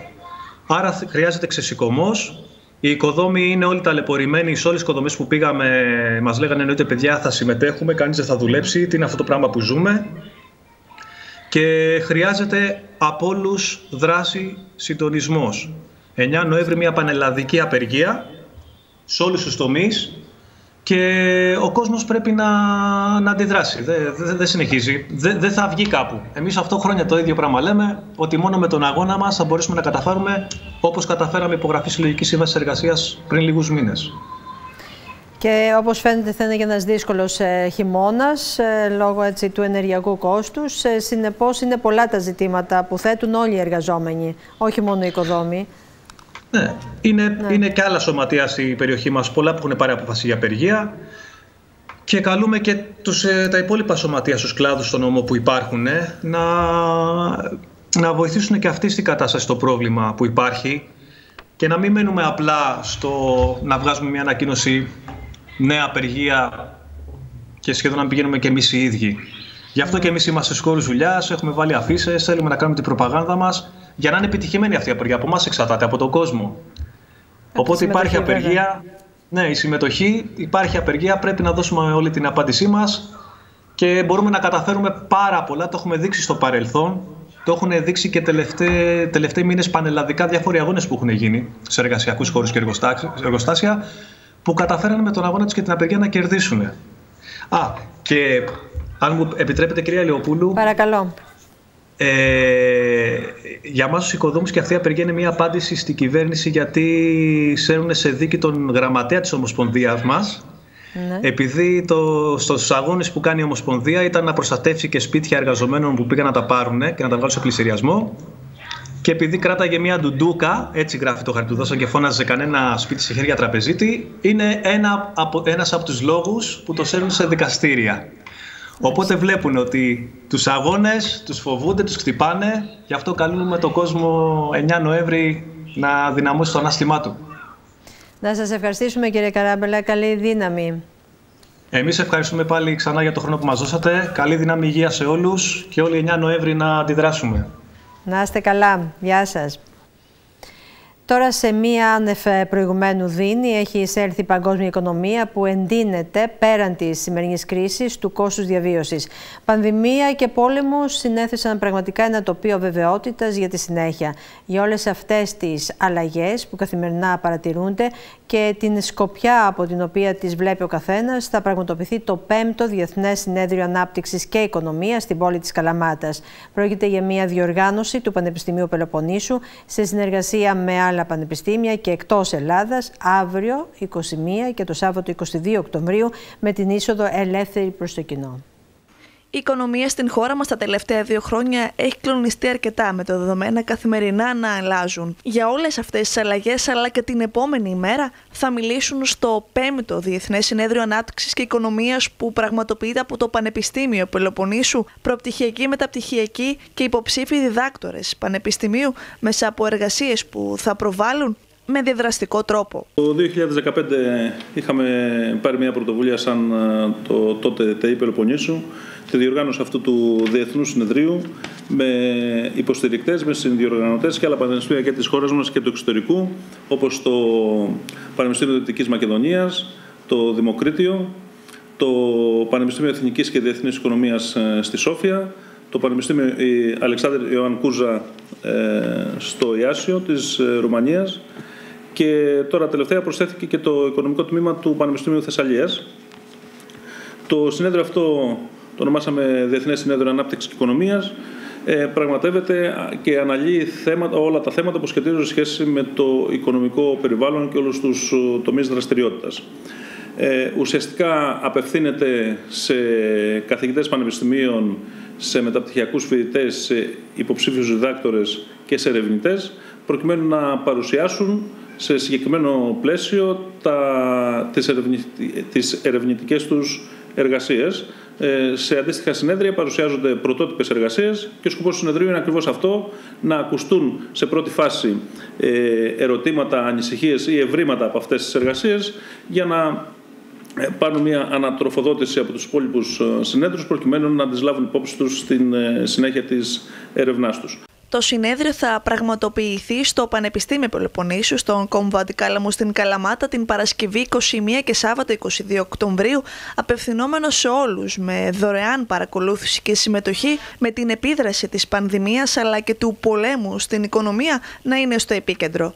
Ε, δεδομένου ότι η κοινωνία εξελίσσεται προς το χειρότερο, προς το καλύτερο, υπάρχει μια συνεχή ε, ζήμωση στις σχέσεις, όλες αυτές. Άρα αυ, αυ, ακριβώς αυτό ε, το παρακολουθεί η οικονομική επιστήμη, ε, καταγράφοντας τις νέες τάσεις, προτείνοντας ε, θέματα ε, που πρέπει να βελτιωθούν ή, να αλλάξουν. Ε, στις εργασίες που έχουν υποβληθεί ε, γίνεται λόγος, αντικατοπτρίζονται τα νέα δεδομένα τα πρωτόγνωρα για το σύγχρονο κόσμο σε σχέση με την πανδημία, η επίδραση που είχε η πανδημία ε, πέρα από το κομμάτι το, του, του ιού, τη υγεία μα, αλλά σε όλη, σε όλη την οικονομική δραστηριότητα.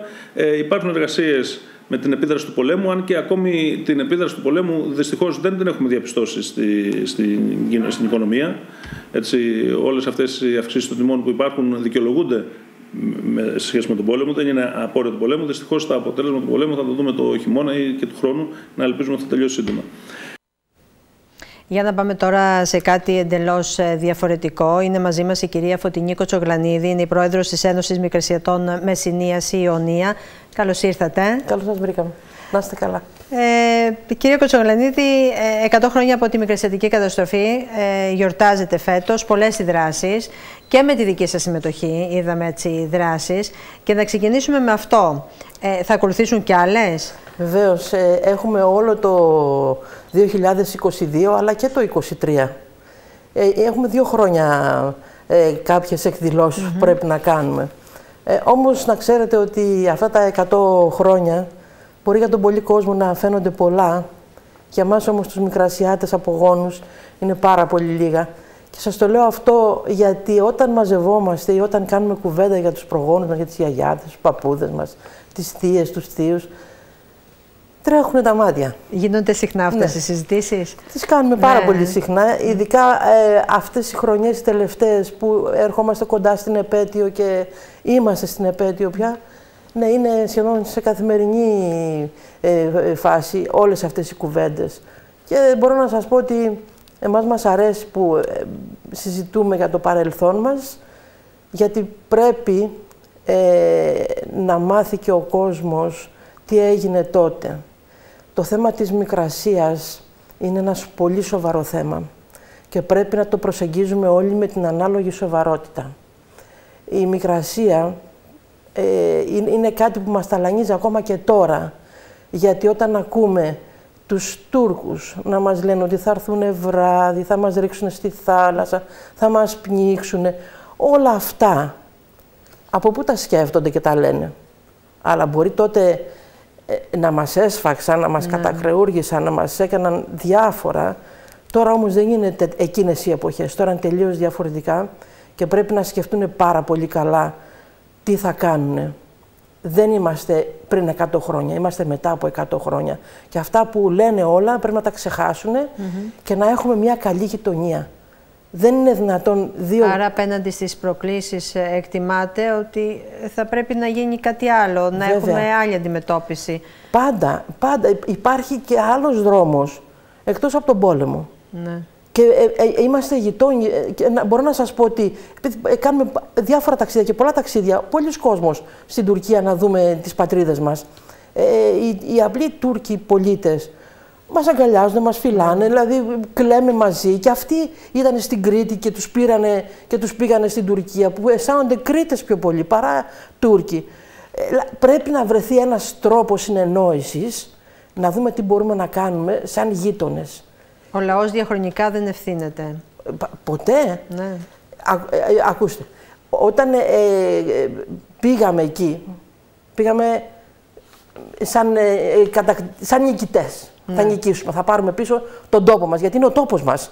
Δεν, είναι κάτι που εκεί ήταν. Και εμείς είμαστε εκεί 3.000 χρόνια. Από το Φρίξο και την Έλλη είμαστε εκεί. Άρα είναι πάρα πολλά χρόνια που είμαστε εκεί. Είμαστε οι ιδιοκτήτες του τόπου. Άλλοι ήταν οι εγκιαστές. Και φύγαμε εμείς οι ιδιοκτήτες και μείναν οι ενοικιαστές. Mm. Λοιπόν, θέλω να πω τούτο. Από τότε, αγωνιστήκαμε. Από όλα αυτά τα χρόνια γίνονταν διάφορα με τους Τούρκους και τους Έλληνες.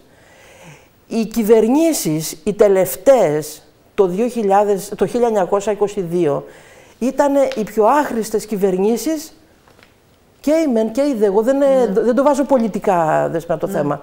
Το βάζω ανθρωπιστικά. Ε, πάθαμε μεγάλη ζημιά και σαν έθνος και σαν κράτος, αλλά και σαν ανθρώποι εμείς. Ε, ε ξέρεις την, την, το βράδυ να κοιμάσαι νοικοκύρης και την άλλη μέρα το πρωί να είσαι πρόσφυγας. Τραγικό, τραγικό. Ε, ε, τις τελευταίες μέρες μας λέγανε τη μια μέρα ναι. πάρτε ό,τι μπορείτε να πάρετε στα χέρια και φευγάτε. Την επόμενη μέρα, πού πάτε, ε; καθίστε καλά, είμαστε εδώ. Θα έρθει ο στρατός και δεν θα έχουμε θέματα.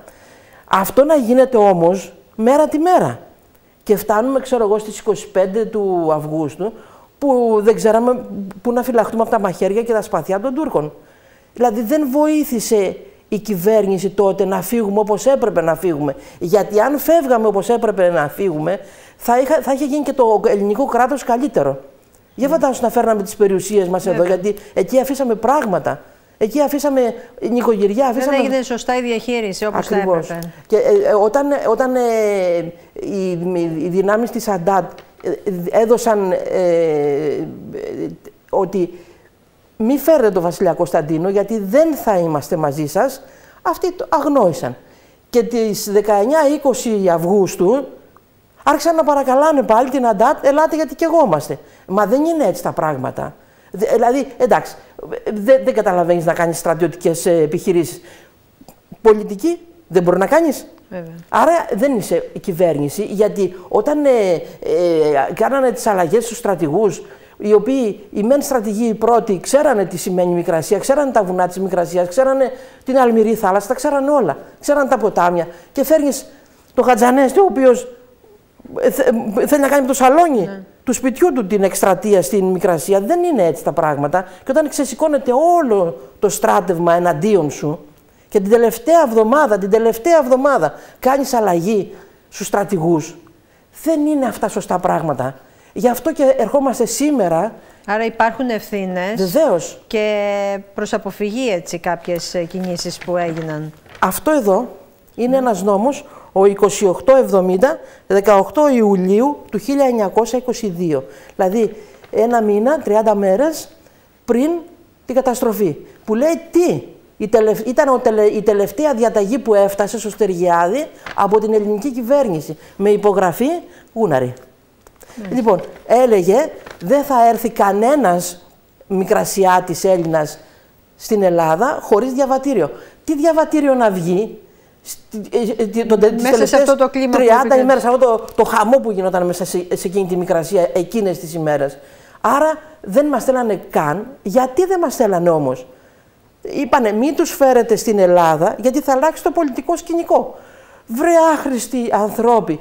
Θα σκοτωθεί τόσος κόσμος, θα μαχαιρωθεί τόσος κόσμος. Για να μην χάσεις εσύ την καρέκλα σου, χάστηνε. Ναι. Αλλά φέρε μας εδώ και μετά. Δεν είναι μόνο αυτό είχαν και την απέτηση να μην δικαστούν κάποιοι.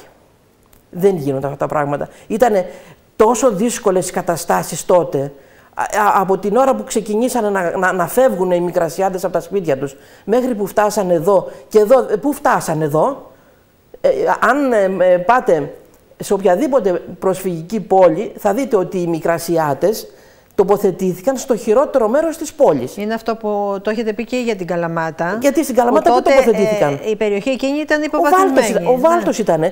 Και να σκεφτείτε ότι εχθές μάλιστα κουβέντιαζα με έναν Μικρασιάτη και μου είπε μία γέφυρα υπήρχε για το ποτάμι.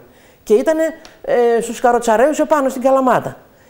Οι άλλοι εδώ για να πάνε απέναντι. Περνάγανε το ποτάμι, μέσα από το ποτάμι. με τα πόδια. Δεν ήταν χειμώνα, δεν ήταν καλοκαίρι, δεν ένα γυναίκα, δεν ένα άντρας, παιδί ή μωρό. Έπρεπε να περάσεις περπατώντας μέσα από το ποτάμι. Και τι έγινε εκεί, ήταν βούρλα και θάλασσα. Έρχονταν η θάλασσα, μας έπνιγε το χειμώνα. Ναι. Ξαναφτιάγανε πάλι τις καλύβες. Η θάλασσα πριν σταματήσει με την Μαρίνα είχε πάρει τρεις σειρές σπίτια. Σπίτια και διόροφα σπίτια. Άρα πού μας βάλατε, Πού μας... Και αυτό όχι μόνο στην Καλαμάτα, όπως είπατε, και σε, σε όλες, τις, τις πόλεις. πόλεις όπου τοποθέτησε το κράτος Μικρασιάτες ήταν στα πιο δυσμενή σημεία κάθε πόλης.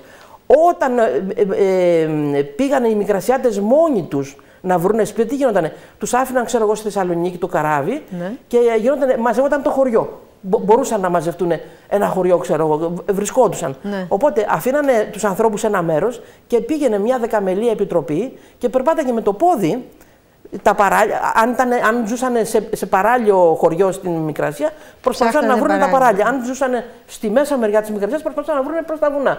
Οπότε περπατούσαν να βρουν τον τόπο που να έχει νερό Ναι. και να έχει παιδιά να καλλιεργήσουν. Μόλις βρίσκανε το μέρος το κατάλληλο για αυτούς, έφευγαν οι μισοί και γύριζαν πίσω και έφερναν Τους υπόλοιπους. το, τους υπόλοιπους στο χωριό για να αρχίσουν από το τίποτα όμως. Το μηδέν. Ναι, δεν υπήρχε. Εκεί υπή- υπήρχαν πέτρες, χώμα και ξύλα. Από εκεί θα φτιάχνανε κάτι. Δηλαδή δε- ε, υ- υπήρχε τρομερό πρόβλημα και μ, του ερχομού μας στην Ελλάδα. Γιατί η Ελλάδα είχε συμμετάσχει σε τόσους πολέμους και αυτοί είχαν ε, επιστηστικό πρόβλημα. Είχαν σοβαρά Ναι, ζητήματα, δηλαδή ούτε, βέβαια. ούτε, ούτε, ούτε ε, ένα ψωμί δεν μπορούσαν να, να προσφέρουν στους μικρασιάτες. Αφού δεν μπορείς να προσφέρεις, γιατί μας φέρνεις με αυτόν τον τρόπο εδώ; Και ε, ψάχνεις τις πέντε τελευταίες μέρες, τις πέντε τελευταίες μέρες να γίνεται ε, διακίνηση με- μεταξύ των ε, Υπουργείων με τηλεγραφήματα, που ο καθένας καταλάβαινε ό,τι καταλάβαινε εκείνη τη στιγμή. Και αποφάσιζε ότι Ναι, και αποφάσιζε, αποφάσιζε ότι ναι. αποφάσιζε πώς θα, πώς θα φύγουμε και πώς θα σωθεί η Σμύρνη να μην καεί. Και να, να παρακαλάει ο Στεργιάδης ε, τους αρμοστές της Κωνσταντινούπολης των άλλων κρατών να, να ελάτε να την κυβερνήσετε τη Σμύρνη γιατί εμείς θα φύγουμε και θα καούμε. Ε, Και πρέπει να, να υπάρξει ηρεμία στην πόλη. Ποια ηρεμία υπήρξε στη Σμύρνη, που μόλις έφυγαν οι Έλληνες, έφυγαν. Τέλος πάντων, Με τον τρόπο ναι, που ναι, έφυγαν, το ναι. γνωρίζουμε τι έγινε. Ε, ε, ε, έγινε το παρανάλωμα του πυρός. Αυτή ήταν η πολιτική μεγάλη που είχε η Ελλάδα τότε για να ρυθμίσει το προσφυγικό μας ζήτημα. Δεν ρυθμίζεται. Αλλά και τώρα πρέπει να είμαστε σοβαροί και να προσεγγίζουμε τη Μικρασία με την ανάλογη σοβαρότητα, ευθύνη και να, να, να βουτάμε πρώτα το, το, το, τη γλώσσα μας μέσα στο μυαλό μας για να δούμε τι λέμε. Δεν είναι τα πράγματα μετά από 100 χρόνια δεν πειράζει, τα ξεχάσαμε. Δεν ξεχάσαμε τίποτα. Τα θυμόμαστε όλα. Αυτό να το έχουν κάποιοι στο μυαλό τους και να μην φτιάχνουν βιβλία και διάφορα που να λένε τα δικά τους θέματα. Α, υπάρχουν δηλαδή τέτοια Και βέβαια, ζητήματα. και βέβαια έχουμε Ναι. τέτοιους, και μάλιστα είναι καθηγητές πανεπιστημίου που τους πληρώνουμε όλοι εμείς, οι οποίοι θέλουν τώρα να αθωώσουν ανθρώπους οι οποίοι μας οδήγησαν εδώ που μας οδήγησαν.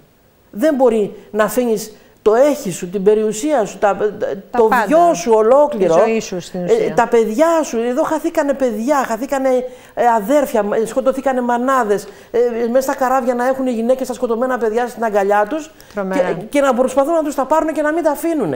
Δηλαδή, πόσο πια να είμαστε large εμείς οι μικρασιάτες και να τα δεχόμαστε όλα. Όχι, δεν θα τα δεχτούμε όλα. Αυτό είναι το, ε, είναι, είναι, ε, όλοι αυτό μου λένε. Ναι. Δεν θα δεχτούμε να, ο- να αθωωθούν άνθρωποι οι οποίοι μας βασάνισαν. Γιατί βασανιστήκαμε. Ε, ε, ξέρεις, ε, Δεσποινά μου, να είσαι σε μια προβλήτα με τόσο κόσμο, με- να έχεις χάσει τα παιδιά σου, να μην έχεις ξέρεις χάσει πού βρίσκεσαι, τα- πού τα θα πάντα. πας, τι θα να σου γίνει. λένε γύρνα πίσω ή την άλλη μέρα έλα πιο μπροστά. Ε, να έχεις τους τσέντες απάνω το κεφάλι να σφυρίζουν τα σπαθιά τους και να λες τώρα θα με σφάξει. Αυτά δεν, ε, δεν μπορεί να τα νιώσει άνθρωπος. Αν δεν τα, εμείς τα ζει, τα, τα ακούσαμε από τις γιαγιάδες μας. Να σου λέει ότι η δικιά μου γιαγιά έζησε 7 μέρες μέσα σε έναν τάφο. Ε, ε, ε, κρύφτηκε η οικογένεια σε ένα τάφο. Ξε, βγάλανε, μέρες. βγάλανε τον πεθαμένο και μπήκανε αυτοί για να σωθούν, να, να φύγουν ε, να- η πρώτη η φουρνιά για να μπορέσουν να μπουν σε ένα καράβι Να φύγουν να κι τους αυτοί, βγάλει ναι. ναι, Θεσσαλονίκη ας πούμε, που βγήκανε. Ναι. Αλλά αυτά όμως δεν είναι αυτά που έπρεπε να γίνουν. Όχι. Αλλιώς έπρεπε να γίνουν. Έτσι. Συνεπώς, ε, από όλα αυτά ε, βγαίνουν πολλά μηνύματα. Βεβαίως. Και πολλά έτσι είναι και για παραδειγματισμό για το πώς διαχειρίζεται όχι, η, η κάποια, η, όποια κυβέρνηση και το θέμα της ε, σημερινής προσφυγιάς, έτσι, γιατί έχουμε και τέτοια ζητήματα και σήμερα. Ε, δυστυχώς και τα βλέπουμε. Ε, πάλι με, κατά τον ίδιο τρόπο διώχνουν τους πρόσφυγες. Το βλέπουμε έτσι Ε, καθημερινά ε, πλέον. Και ναι. μάλιστα όσο πάνε και χειροτερεύουν. Όταν έρχονται 90 άντρες γυμνοί, πού τους στέλνεις Τραγική αυτούς τους εικόνα. ανθρώπους, ναι, πού τους στέλνεις Τους αυτούς τους ανθρώπους. ξεφτιλίζεις. Ναι. Δηλαδή, πόσο πια χαμηλά θα τον φτάσει. Ναι. Είναι που είναι πρόσφυγας, είναι που είναι που δεν έχεις τον ήλιο μοίρα. Τον εφέρνεις και με αυτό το πράγμα σε άλλη χώρα. Και όχι μόνο αυτό, δεν το παραδέχεσαι κιόλας ότι Αυτό τους είναι έστειλες άλλο εσύ. θέμα. Ναι, δηλαδή, μι- μιλάμε τέτοια πράγματα αυτά. Οι, μόνο οι Τούρκοι τα κάνουν. Ε, έχουν τέτοιο θράσος που κάνουν τέτοια πράγματα. Εγώ θα, σα- θα, θα σου πω το, το εξής απλό που έλεγε η γιαγιά μου, Ναι. μέχρι που έφυγε από αυτή τη ζωή και δεν συμπράττει πια μαζί μας. Παιδάκι μου μου λέγε καλός Τούρκος, νεκρός Τούρκος. το έγραψε αυτό κάποτε στο διαδίκτυο και Ναι. για μια εβδομάδα δεν είχα διαδίκτυο. Δε- δεν είναι έτσι όμως. Εμείς δεν λέμε Τόσο αυτά τα ακραία πράγματα. πράγματα, α, ναι. Η γιαγιά μου έζησε τη- αυτό το Έζησε πράγμα όλη και το αυτή είχε τη στο φρίκη, στην ναι. ψυχή της. Εμείς λέμε ότι πρέπει να προσεγγίσουμε το θέμα της μικρασίας με σοβαρότητα. Πρέπει η κυβέρνηση αυτή, η επόμενη, η μεθεπόμενη, δεν το βάζω πολιτικά, Ναι. να προσεγγίσει την κατάσταση με την Τουρκία με τον καλύτερο τρόπο, χωρίς να έχουμε σύραξη εμπόλεμη ας πούμε, και να τρέχουμε ε, πανικόβλητοι κι εμείς πάλι. Και όσοι ασχολούνται με τη μικρασία σε συλλογική μορφή και αυτοί πρέπει να δούνε πώς θα μιλάνε, τι θα λένε και τι θα πράττουν. Εδώ έχουμε ακούσει πολλά το τελευταίο διάστημα. Ε, έχουμε ακούσει πάρα πολλά. Μας χαροποιεί όμως Ναι. το θέμα ότι ε, εκδίδονται βιβλία. Μμμ. Καινούργια. Όχι αυτά που λέγαμε πριν. Και τέτοια εκδίδονται. Και Δε- τέτοια, δεν ναι. έχουμε να κάνουμε κάτι με... Ναι. με- Εμείς ε, ε, τα δεχόμαστε όλα, τα διαβάζουμε όλα. Άσχετα τι θα επιλέξουμε ότι είναι καλό ή δεν είναι καλό. Ναι. Εμείς δεν λέμε σε κανένα μη γράφεις. Γράψε. Το θέμα όμως να γράφονται και σωστά πράγματα, γιατί για κάποιον που δεν γνωρίζει, ε, επηρεάζεται. Ναι, έτσι. αν, αν, αν δεις ε, πώς το τεκμηριώνει, καταλαβαίνεις ότι αυτά που λέει δεν Α, ισχύουν. δεν ισχύουν, ωραία. δηλαδή, ε, λιγάκι ιστορία δηλαδή, να επί, διαβάσεις. τη, επί του κειμένου Ναι, καταλαβαίνεις ναι, ναι, δηλαδή ναι. τι γίνεται. Ναι. Ε, τώρα θέλω να πω το εξής, ας Ναι. πούμε, ότι και εμείς είμαστε στη διαδικασία. Είδηση αυτό. Ναι. Ε, είμαστε στη διαδικασία έκδοσης ενός βιβλίου Α, ε, ωραία. για τη μικρασία και τους μικρασιάτε στη μεσηνια Μμμ. Ε, βρισκόμαστε προς το τέλος ε, τη- της ολοκλήρωσης ε, με τις συνεντεύξεις μας και έχουμε ήδη ψάξει τις εφημερίδες τότε που ήρθαν εδώ οι πρόσφυγες, σημαία και θάρρος, ε, τι γινόταν, ε, γιατί αυτά τα μικροπολιτικά που γράφουν οι εφημερίδες και τώρα ακόμα, είναι μεγάλη δημοσιογραφία γιατί μαθαίνεις απευθείας τι γίνεται σε κάθε πόλη. ναι. Οπότε έχουμε κάνει ήδη αυτή την έρευνά μας, ε, γνωρίζουμε και θα εμφανιστούν μέσα στο βιβλίο. Ε, έχουμε ιστορικά γεγονότα ε, και έχουμε και συνεντεύξεις με φωτογραφίες μικρασιατών. Πολύ ωραία. Οπότε Ναι. έχει ξεκινήσει... Ε, ναι, είμαστε στο τέλος της συγγραφής. Ε, οπότε θα γίνει η έκδοση ε, μαζί με την Κεντρική Βιβλιοθήκη Καλαμάτας. Μμμ. Έχουμε κάνει μια συζήτηση με την κυρία Κουμάντου και είμαστε στη διαδικασία της ολοκλήρωσης για να γίνει η έκδοση. Μάλιστα, πολύ σημαντικό αυτό. Ναι, και και, έχουμε και πάλι- θα δούμε και πρόσωπα εδώ που έμεναν στη Ναι. Καλαμάτα, Ναι, ναι, ναι, ναι. έτσι, εικόνες από Ναι, εδώ, ναι, τα πάντα. φωτογραφίες παλιές με τους Τέλεια. ε, παππούδες και τις γιαγιάδες Ναι. που ήρθαν από εκεί. Μμμ. Η γιαγιά μου και ο παππούς μου, η γιαγιά μου ήρθε 14 12 χρόνια και ο παππούς μου 14. Α, πολύ μικρά Μικ- παιδιά. Μικρά παιδιά, Ναι. αλλά όμως μικρά παιδιά που μεγάλωσαν ξαφνικά και απότομα. Βέβαια. Και Γιατί με αυτόν τον βρέθηκαν τρόπο. εδώ μόνοι τους να παλεύουν με το τίποτα. Ε, ακόμα έχουμε σαν Ένωση Μικρασιατών, νομούμε Συνίας Ιωνία, ε, έχουμε ξεκινήσει μια διαδικασία ε, να προωθήσουμε ένα έγγραφο και να ζητάμε πρώτον ε, να γίνει μια έδρα μικρασιατικών σπουδών σε ένα πανεπιστήμιο στην Ελλάδα. Δεν λέμε στο Πανεπιστήμιο Πελοποννήσου, ας, ας είναι όπου κατα... ε, όποιο νομίζει πανεπιστήμιο το της Υπουργείο χώρας, ναι. Παιδείας νομίζω ότι πρέπει να φτιάξει. Δεν υπάρχει μία έδρα μικρασιατικών σπουδών. Πρέπει να γίνει. Πρέπει να ψάξουμε τα αρχεία. Πρέπει να ψάξουμε τα δημόσια αρχεία, να ψάξουμε τα ιδιωτικά αρχεία. Πρέπει να ασχοληθούν οι φοιτητές μας και οι πανεπιστημιακοί μας δάσκαλοι να βρούμε τι έγινε, να βρούμε την αλήθεια, τα γεγονότα. Εμείς δεν, δεν θέλουμε παραμύθια. Θέλουμε να δούμε τι έγινε τότε και γιατί έγινε τότε. Αυτό το γιατί μας τρώει καθημερινά. Βέβαια. Όπως επίσης ζητάμε από το Υπουργείο Παιδείας σε όλες τις εκπαιδευτικές βαθμίδες να διαμορφώσει κατά κάποιο τρόπο τα σχολικά βιβλία των παιδιών. Γιατί; Γράφουν πολύ μικρά πράγματα για τη μικρασία και τα γράφουν στο τέλος. Δηλαδή, τελειώνοντας η σχολική χρονιά, τότε διδάσκονται τα παιδιά. Δεν προλαβαίνουν να διδαχθούν. Ίσως δεν φτάνουν σε αυτό το κεφάλαιο, όχι, έτσι. Όχι, Δεν και, αν, και, ε, και επειδή πρέπει να το πούνε, το λένε οι δάσκαλοι και αυτοί Έτσι, οι έρμοι. επιφανειακά, Κάτσε ναι. να σας το πω. Και μάλιστα εγώ συζήτησα με κάποια κυρία σε κάποιο σχολείο, γυμνάσιο και μου λέει εγώ θα ξεκινήσω ανάποδα φέτος. Πολύ σωστό. Θα πάω από τη Μικρασία πρώτα. Ναι. Ε, εκεί θα κάνουμε εκδηλώσεις αυτό το σχολείο Ναι. ε, με την Ένωση Μικρασιατών να, για να μπορέσουν. ε, δε- Δεν θέλουμε να, να, να καταλάβουν τον πόνο το δικό μας. Θέλουμε όμως να ακούσουν για τη Μικρασία και στη ζωή τους αργότερα όταν θα ξανακούσουν για Μικρασία να πούνε δύο λεφτά να δώσω σημασία, κάτι γίνεται, το έχω ξανακούσει αυτό στη ζωή μου. Αυτό θέλουμε, δηλαδή να καταλάβει ο κόσμος ότι πρέπει να μάθουμε για αυτό το κομμάτι της, της ζωής της Ελλάδας εκεί. Που όλοι αυτοί οι άνθρωποι ήρθαν από εκεί και έφεραν έναν πολιτισμό εδώ. Δεν το λέμε γιατί θέλουμε να καυχηθούμε. Έτσι, Έτσι είναι, ήτανε. έτσι είναι, ναι. Τι να λέμε τώρα, δηλαδή, ε, ε, ε, φτάνοντας προς το τέλος, αν, αν ε, έχεις διαβάσει, Δεσποινά μου, ότι ο Καραθεοδωρή έφτιαξε ένα ολόκληρο πανεπιστήμιο με ειδικότητες που δεν υπήρχαν καν. Και ήταν να γίνουν τα εγγένεια και έγινε η καταστροφή. Και μάλιστα ε, κι- ε, ε, πήρε το κλειδί, κλείδωσε το πανεπιστήμιο και πήρε το κλειδί και έφυγε τρέχοντας να μπει στο τελευταίο καράβι που έφευγε. Ε, δηλαδή, καταλαβαίνεις ότι ε, δεν, είναι- αυτά τα πράγματα είναι πάρα πολύ σοβαρά και Είναι, πρέπει να, βέβαια. να διερευνηθούν. Και να αναδειχθούν και να διερευνηθούν Ακριβώς. εις βάθος και να μάθει και ο κόσμος και να μάθουν και τα παιδιά που είναι βασικό αυτό. Μας ενδιαφέρει Γιατί- πολύ. Ε, βέβαια. Το βασικότερο είναι να μάθουν τα παιδιά. Να μην ξανακάνουμε τα ίδια λάθη. Και να, μην- ε, ε, ως Έλληνες κάνουμε όχι, και τα ό, λάθη ό, μας, να μην τα αλλά ξανακάνουμε αυτά. δεν πρέπει Δεν- να τα δεν επαναλαμβάνουμε. χρειάζεται. Και η ιστορία μας διδάσκει πάνω σε αυτό και, Σίγουρα. και η συγκεκριμένη έτσι, Σίγουρα. ιστορία. Σίγουρα, σίγουρα. Ε, τι να πω, ε, χήμαρος πραγματικά, όπως πάντα. Ε, και πολλές οι δράσεις σας. Ε, μας είπατε έτσι και σημαντικά Ναι, μα- πράγματα μας που θα ενδιαφέρει, κάνετε. μας ενδιαφέρει πιο πολύ ε, και κάνουμε δράσεις στην περιφέρεια. Ε, Ναι. γιατί είμαστε Ένωση Μικρασιατών Νομού Μεσσηνίας. Ε, οπότε, ε, στα, στους πολιτιστικούς συλλόγους των χωριών μας, οι άνθρωποι θέλουν να, να, να, να, να μάθουν. Ε, όπου πάμε, ε, δηλαδή λένε να ξανάρθετε. Ε, μας πείτε και κάτι άλλο. Είναι πολύ λίγα αυτά που λέμε μέσα. σε- Πόση, Σε λίγη ώρα, ναι, ναι, βέβαια. πόση ώρα θα μας δώσει Ναι. ο καθένας από το χρόνο του για να μιλήσουμε. Είναι λίγα, αλλά ζητάνε να ξαναγυρίσουμε και να ξαναπάμε και να ξαναπούμε πράγματα. Αυτό εμάς μας χαροποιεί.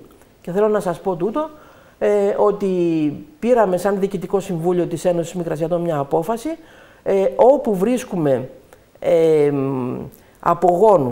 μ, απογόνους ανθρώπων που πολέμησαν στη Μικρασία, χάθηκαν εκεί ή γύρισαν πίσω, να δίνουμε ε, έναν, με μια πλακέτα τιμή Σένεκεν ε, για αυτόν τον άνθρωπο που χάθηκε εκεί ή που γύρισε αλλά πολέμησε για μας εκεί. Έχω να σου πω το, το, το απλό. Όταν παίρνουν ένα απλό χαρτί είναι. Ναι, δεν ένα είναι, απλό ναι. χαρτί είναι. Που, Ένα τιμή Σένεκεν, ας ε, πούμε, ναι, για τους κάπως πολλούς έτσι. ίσως δεν λέει και τίποτα. Αυτός όμως ο απόγονος που το παίρνει δεν μπορεί να σταματήσει να κλαίει. Και μάλιστα στο κουταλά μας είπε μια κυρία, επιτέλους κάποιος ήρθε να πει κάτι για τον πατέρα μου. Τι λέτε. Δηλαδή και το εννοούσε και έκλαιγε με αναφιλητά. Για μας αυτά είναι πολύ σοβαρά πράγματα. Και ε, δηλαδή πονάει η ψυχή μας όταν ε, βλέπεις ανθρώπους που λέει «Μα γιατί μας ξέχασαν εμάς». Γι' αυτό λέω πρέπει να, προσε... να προσέχουμε τι λέμε και τι κάνουμε και πώς το κάνουμε και να προσεγγίσουμε το θέμα της μικρασίας με άλλη σκοπιά και με άλλο τρόπο που να δώσουμε να καταλάβουν ότι ναι έγιναν λάθη αυτά. Αλλά για να πούμε τα αυτά πρέπει να γίνει μια έδρα μικρασιατικών σπουδών σε ένα πανεπιστήμιο. Δηλαδή το ένα φέρνει το άλλο, άρα το κράτος μας πρέπει να φροντίσει. Συγκεκριμένα, είχα κάνει μια συζήτηση με τον, Ναι. κύριο, ε, τον πρόεδρο της Βουλής, τον κύριο Τασούλα, που είχε έρθει εδώ για να κάνει τα εγγένεια της έκθεσης και δεν πίστευε ότι δεν υπάρχει έδρα. Α, δεν το πίστευε, Ε, δεν το λέει, ήξερε. Τι δεν έχουμε; Όχι βέβαια, του λέω δεν έχουμε. Ε, αυτό μου λέει πια είναι πάρα πολύ σοβαρό. Ε, επειδή Ε, είναι- προωθήστε το, πες να αυτό του είπα γίνει. και εγώ. Του λέω επειδή είναι πάρα πολύ Έτσι. σοβαρό. Σας παρακαλούμε πάρα πολύ. Ξέρω ότι μπορείτε. Βοηθήστε μας κάπου να φτιαχτεί. Φτιάχνετε στην Αθήνα. Φτιάχνετε στη Θεσσαλονίκη. Δεν μας πειράζει. Ναι, ναι. Φτιάχνετε στον Αιγαίο, στο Αιγαίο. Αλλά να φτιαχτεί κάπου, να μπορούμε κι εμείς να μάθουμε τι έγινε τελικά. Φταίμε, δεν φταίμε; Αυτοί που λένε ότι τζάπα τους δικάσαμε και τους σκοτώσαμε τις έξι, έχουν δίκιο αυτοί; Έχουμε δίκιο εμείς που λέμε αυτοί ήταν έξι, εμείς είμαστε δύο εκατομμύρια έξι που πεθάναμε εκεί πέρα. Ε, Οι, οι Πόντιοι, οι Αρμένιδες, οι Μικρασιάτες, οι Θρακιώτες. Δηλαδή όλοι αυτοί οι άνθρωποι γιατί πεθάνανε; Και οι έξι δεν πρέπει να είναι ντούροι, ας πούμε. Δεν γίνεται αυτά τα πράγματα. Δεν είναι θέμα κακίας ή κάτι διαφορετικό. Είναι φαντάσου εκείνη την εποχή τι γινόταν. Και πόσο ο κόσμος ήταν στα κάγκελα, πώς λέμε και σήμερα, ε, ε, κάποιος έπρεπε να είναι το εξυλαστήριο θύμα. Εκεί που διαφωνούμε είναι στον τρόπο της δίκης. Ναι. ναι. Ίσως έγινε γρήγορα η δίκη, ίσως δεν εξετάστηκαν όλα τα πράγματα, πολλά ίσως. Ναι. Αλλά μέσα σε εκείνο τον κουρνιακτό, αυτά τα ίσως πήγανε πίσω. Και ε, ε, σκοτώθηκαν αυτοί οι έξι ανθρώποι. Αλλά κάποιος όμως έπρεπε να πληρώσει όλα αυτά τα χάλια. Ε, ε, ρήμωσε η, η, η, Ελλάδα από τους φαντάρους που πηγαίναν εκεί. Ε, αν πας στη Μάνη, ναι. ένας κακός χαμός από φαντάρους. Δηλαδή όλη η Μάνη είχε φύγει και είχε πάει στη Μικρασία.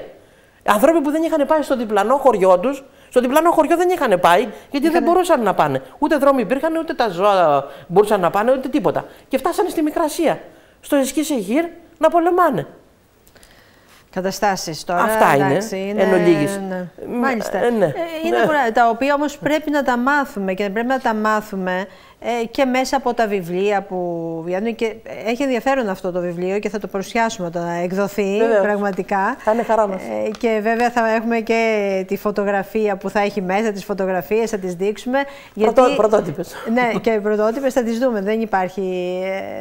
Ε, και δεσμευόσαστε ότι θα το παρουσιάσουμε Βεβαίως. σίγουρα ναι, εδώ. Ναι, ναι, ναι, γιατί έχει ενδιαφέρον, θα δούμε και στοιχεία έτσι από την πόλη, πώς ήταν τότε. τότε ναι. ε, ποιος ήταν ο κόσμος αυτός που ήρθε, πώς έζησε. Είναι, είναι, είναι πολλά. Λένε πράγματα μέσα και Λένε και πράγματα, ναι, είναι οι ιστορίες αυτές. Ναι. Ε, και μέσα από αυτές τις ιστορίες ε, βγαίνουν και οι αλήθειες, έτσι. Είναι, είναι σημαντικό, γιατί τις λένε απλοί άνθρωποι. Άνθρωποι που έζησαν, που βίωσαν αυτή την κατάσταση. Ε, μάλιστα, ε, χτες που ε, έκανα μια συνέντευξη, μου είπαν έναν τρόπο θέρμασης. Ναι. Βεβαίως. Λέω αυτό θα το βάλουμε πρώτο-πρώτο. Ναι. Ε, θα, το αναρτήσουμε κιόλας. Για πείτε το, είναι επίκαιρο τώρα. Λοιπόν, ακούσα, θα σας το πω. ναι, αυτό είναι επίκαιρο, τώρα λοιπόν, το χρειαζόμαστε. Λοιπόν, ε, όταν ήταν το Τζάνκερ Ροζ ε, στο πάρκο, ναι. το, ε, εκεί φτάνανε τα τρένα. Τα τρένα και έκανε κάρβουνα. Τα οποία εκεί αδειάζανε αυτή τη σκόνη που έμενε για να κάνουν τόπο να βάλουν τα καινούρια κάρβουνα για να μπορέσουν να έχουν τη θερμογόνο δύναμη να προχωράνε. Πήγαιναν οι μικρασιάτες, έπαιρναν αυτή τη σκόνη, την ανακάτευαν με πυλό, με χώμα, ναι. κοκκινόχωμα και νεράκι και έκαναν στεφανάκια και τις λέγανε πίτες, πιταράκια. Ήταν σαν πίτα. Ναι. Λοιπόν, αυτό το βάζανε στον ήλιο ε, ε, και στέγνωνε, τα ντανιάζανε και όλο το χειμώνα και μαγειρεύανε με αυτό και θερμαίνανε το καζάνι που βάζανε τα ρουχα για να πλύνουν και να πληθούν. Οπότε είναι ένα είδος θέρμανσης, να τα ακούσουμε. Οικονομικός. Ε. Οικονομικότατο. Ναι. Οπότε, να, να, πούμε αυτό το, η καθημερινότητα. Άλλο θέμα. Πώς να πληθείς. Λένε, ας πούμε, να κάνουμε. Ακούστε, η κυκλική οικονομία λέει και να κάνουμε και.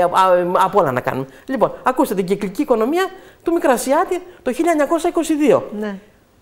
Ε, μέναν κοντά στη θάλασσα. Τι έπρεπε να κάνουν, να εκμεταλλευτούν ό,τι βγάζει θάλασσα. Λοιπόν, η θάλασσα το χειμώνα έβγαζε ξύλα. Ξυλαράκια, ναι. μικρά, μεγάλα. Πηγαίνανε όλη η γειτονιά μετά ακούμε τα κουβαδάκια τους και μαζεύανε ναι, τα ξυλαράκια. Τα οποία τα ντανιάζανε γιατί έπρεπε να τα βάλουν στο καζάνι να φτιάξουν νερό να πληθούν και να πλύνουν και τα ρούχα. Οπότε, να η κυκλική οικονομία που την κάναμε εμείς πολλά χρόνια πριν. πολλά λοιπόν. χρόνια πριν. όλα αυτά ε, δίνουν και ιδέες από ό,τι καταλαβαίνουμε. Να σας ευχαριστήσουμε που είστε μαζί μας. Και εμείς ευχαριστούμε πάρα πολύ που μας θυμόσαστε ε, πολύ συχνά και είναι ιδιαίτερη χαρά για μας έτσι να Έχετε βλέπουμε. πράγματα να πείτε. Πολλά. Ανεξάρτητα με τα 100 χρόνια που γιορτάζουμε, ε, κάθε χρόνο θα πρέπει να επισημαίνουμε πράγματα, θα πρέπει ναι. να μιλάμε γι' αυτό, να μην το ξεχνάμε, γιατί δεν είναι θέματα που πρέπει να τα συζητάμε μόνο σε κάποιον εορτασμό. Ε, ε, Δεσποινά μου, δεν γιορτάζουμε εμείς. Ναι. Εμείς έχουμε μνημόσυνο. Ναι. Ε, ε, ε προ, πρόσεξε, ένα τελευταίο. Η Ένωση Μικρασιών όταν δημιουργήθηκε, δημιουργήθηκε με, με, με τρεις ιδέες. Η μία ιδέα ήταν να μπορούμε κάποια στιγμή να, να μιλάει η Μεσσηνία για τη Μικρασία. Μιλάει. Μιλάει. Ε, ε, όλοι θέλουν να κάνουν κάτι. Μας καλούν όλοι οι σύλλογοι Ναι. από την άκρη της γης. Ελάτε να πούμε κάτι για τη Μικρασία. Λοιπόν, μιλάει. Ναι. Ο, ο ένας στόχος έγινε. Ο δεύτερος στόχος ήταν να φτιάξουμε ένα μνημείο που δεν είχαμε.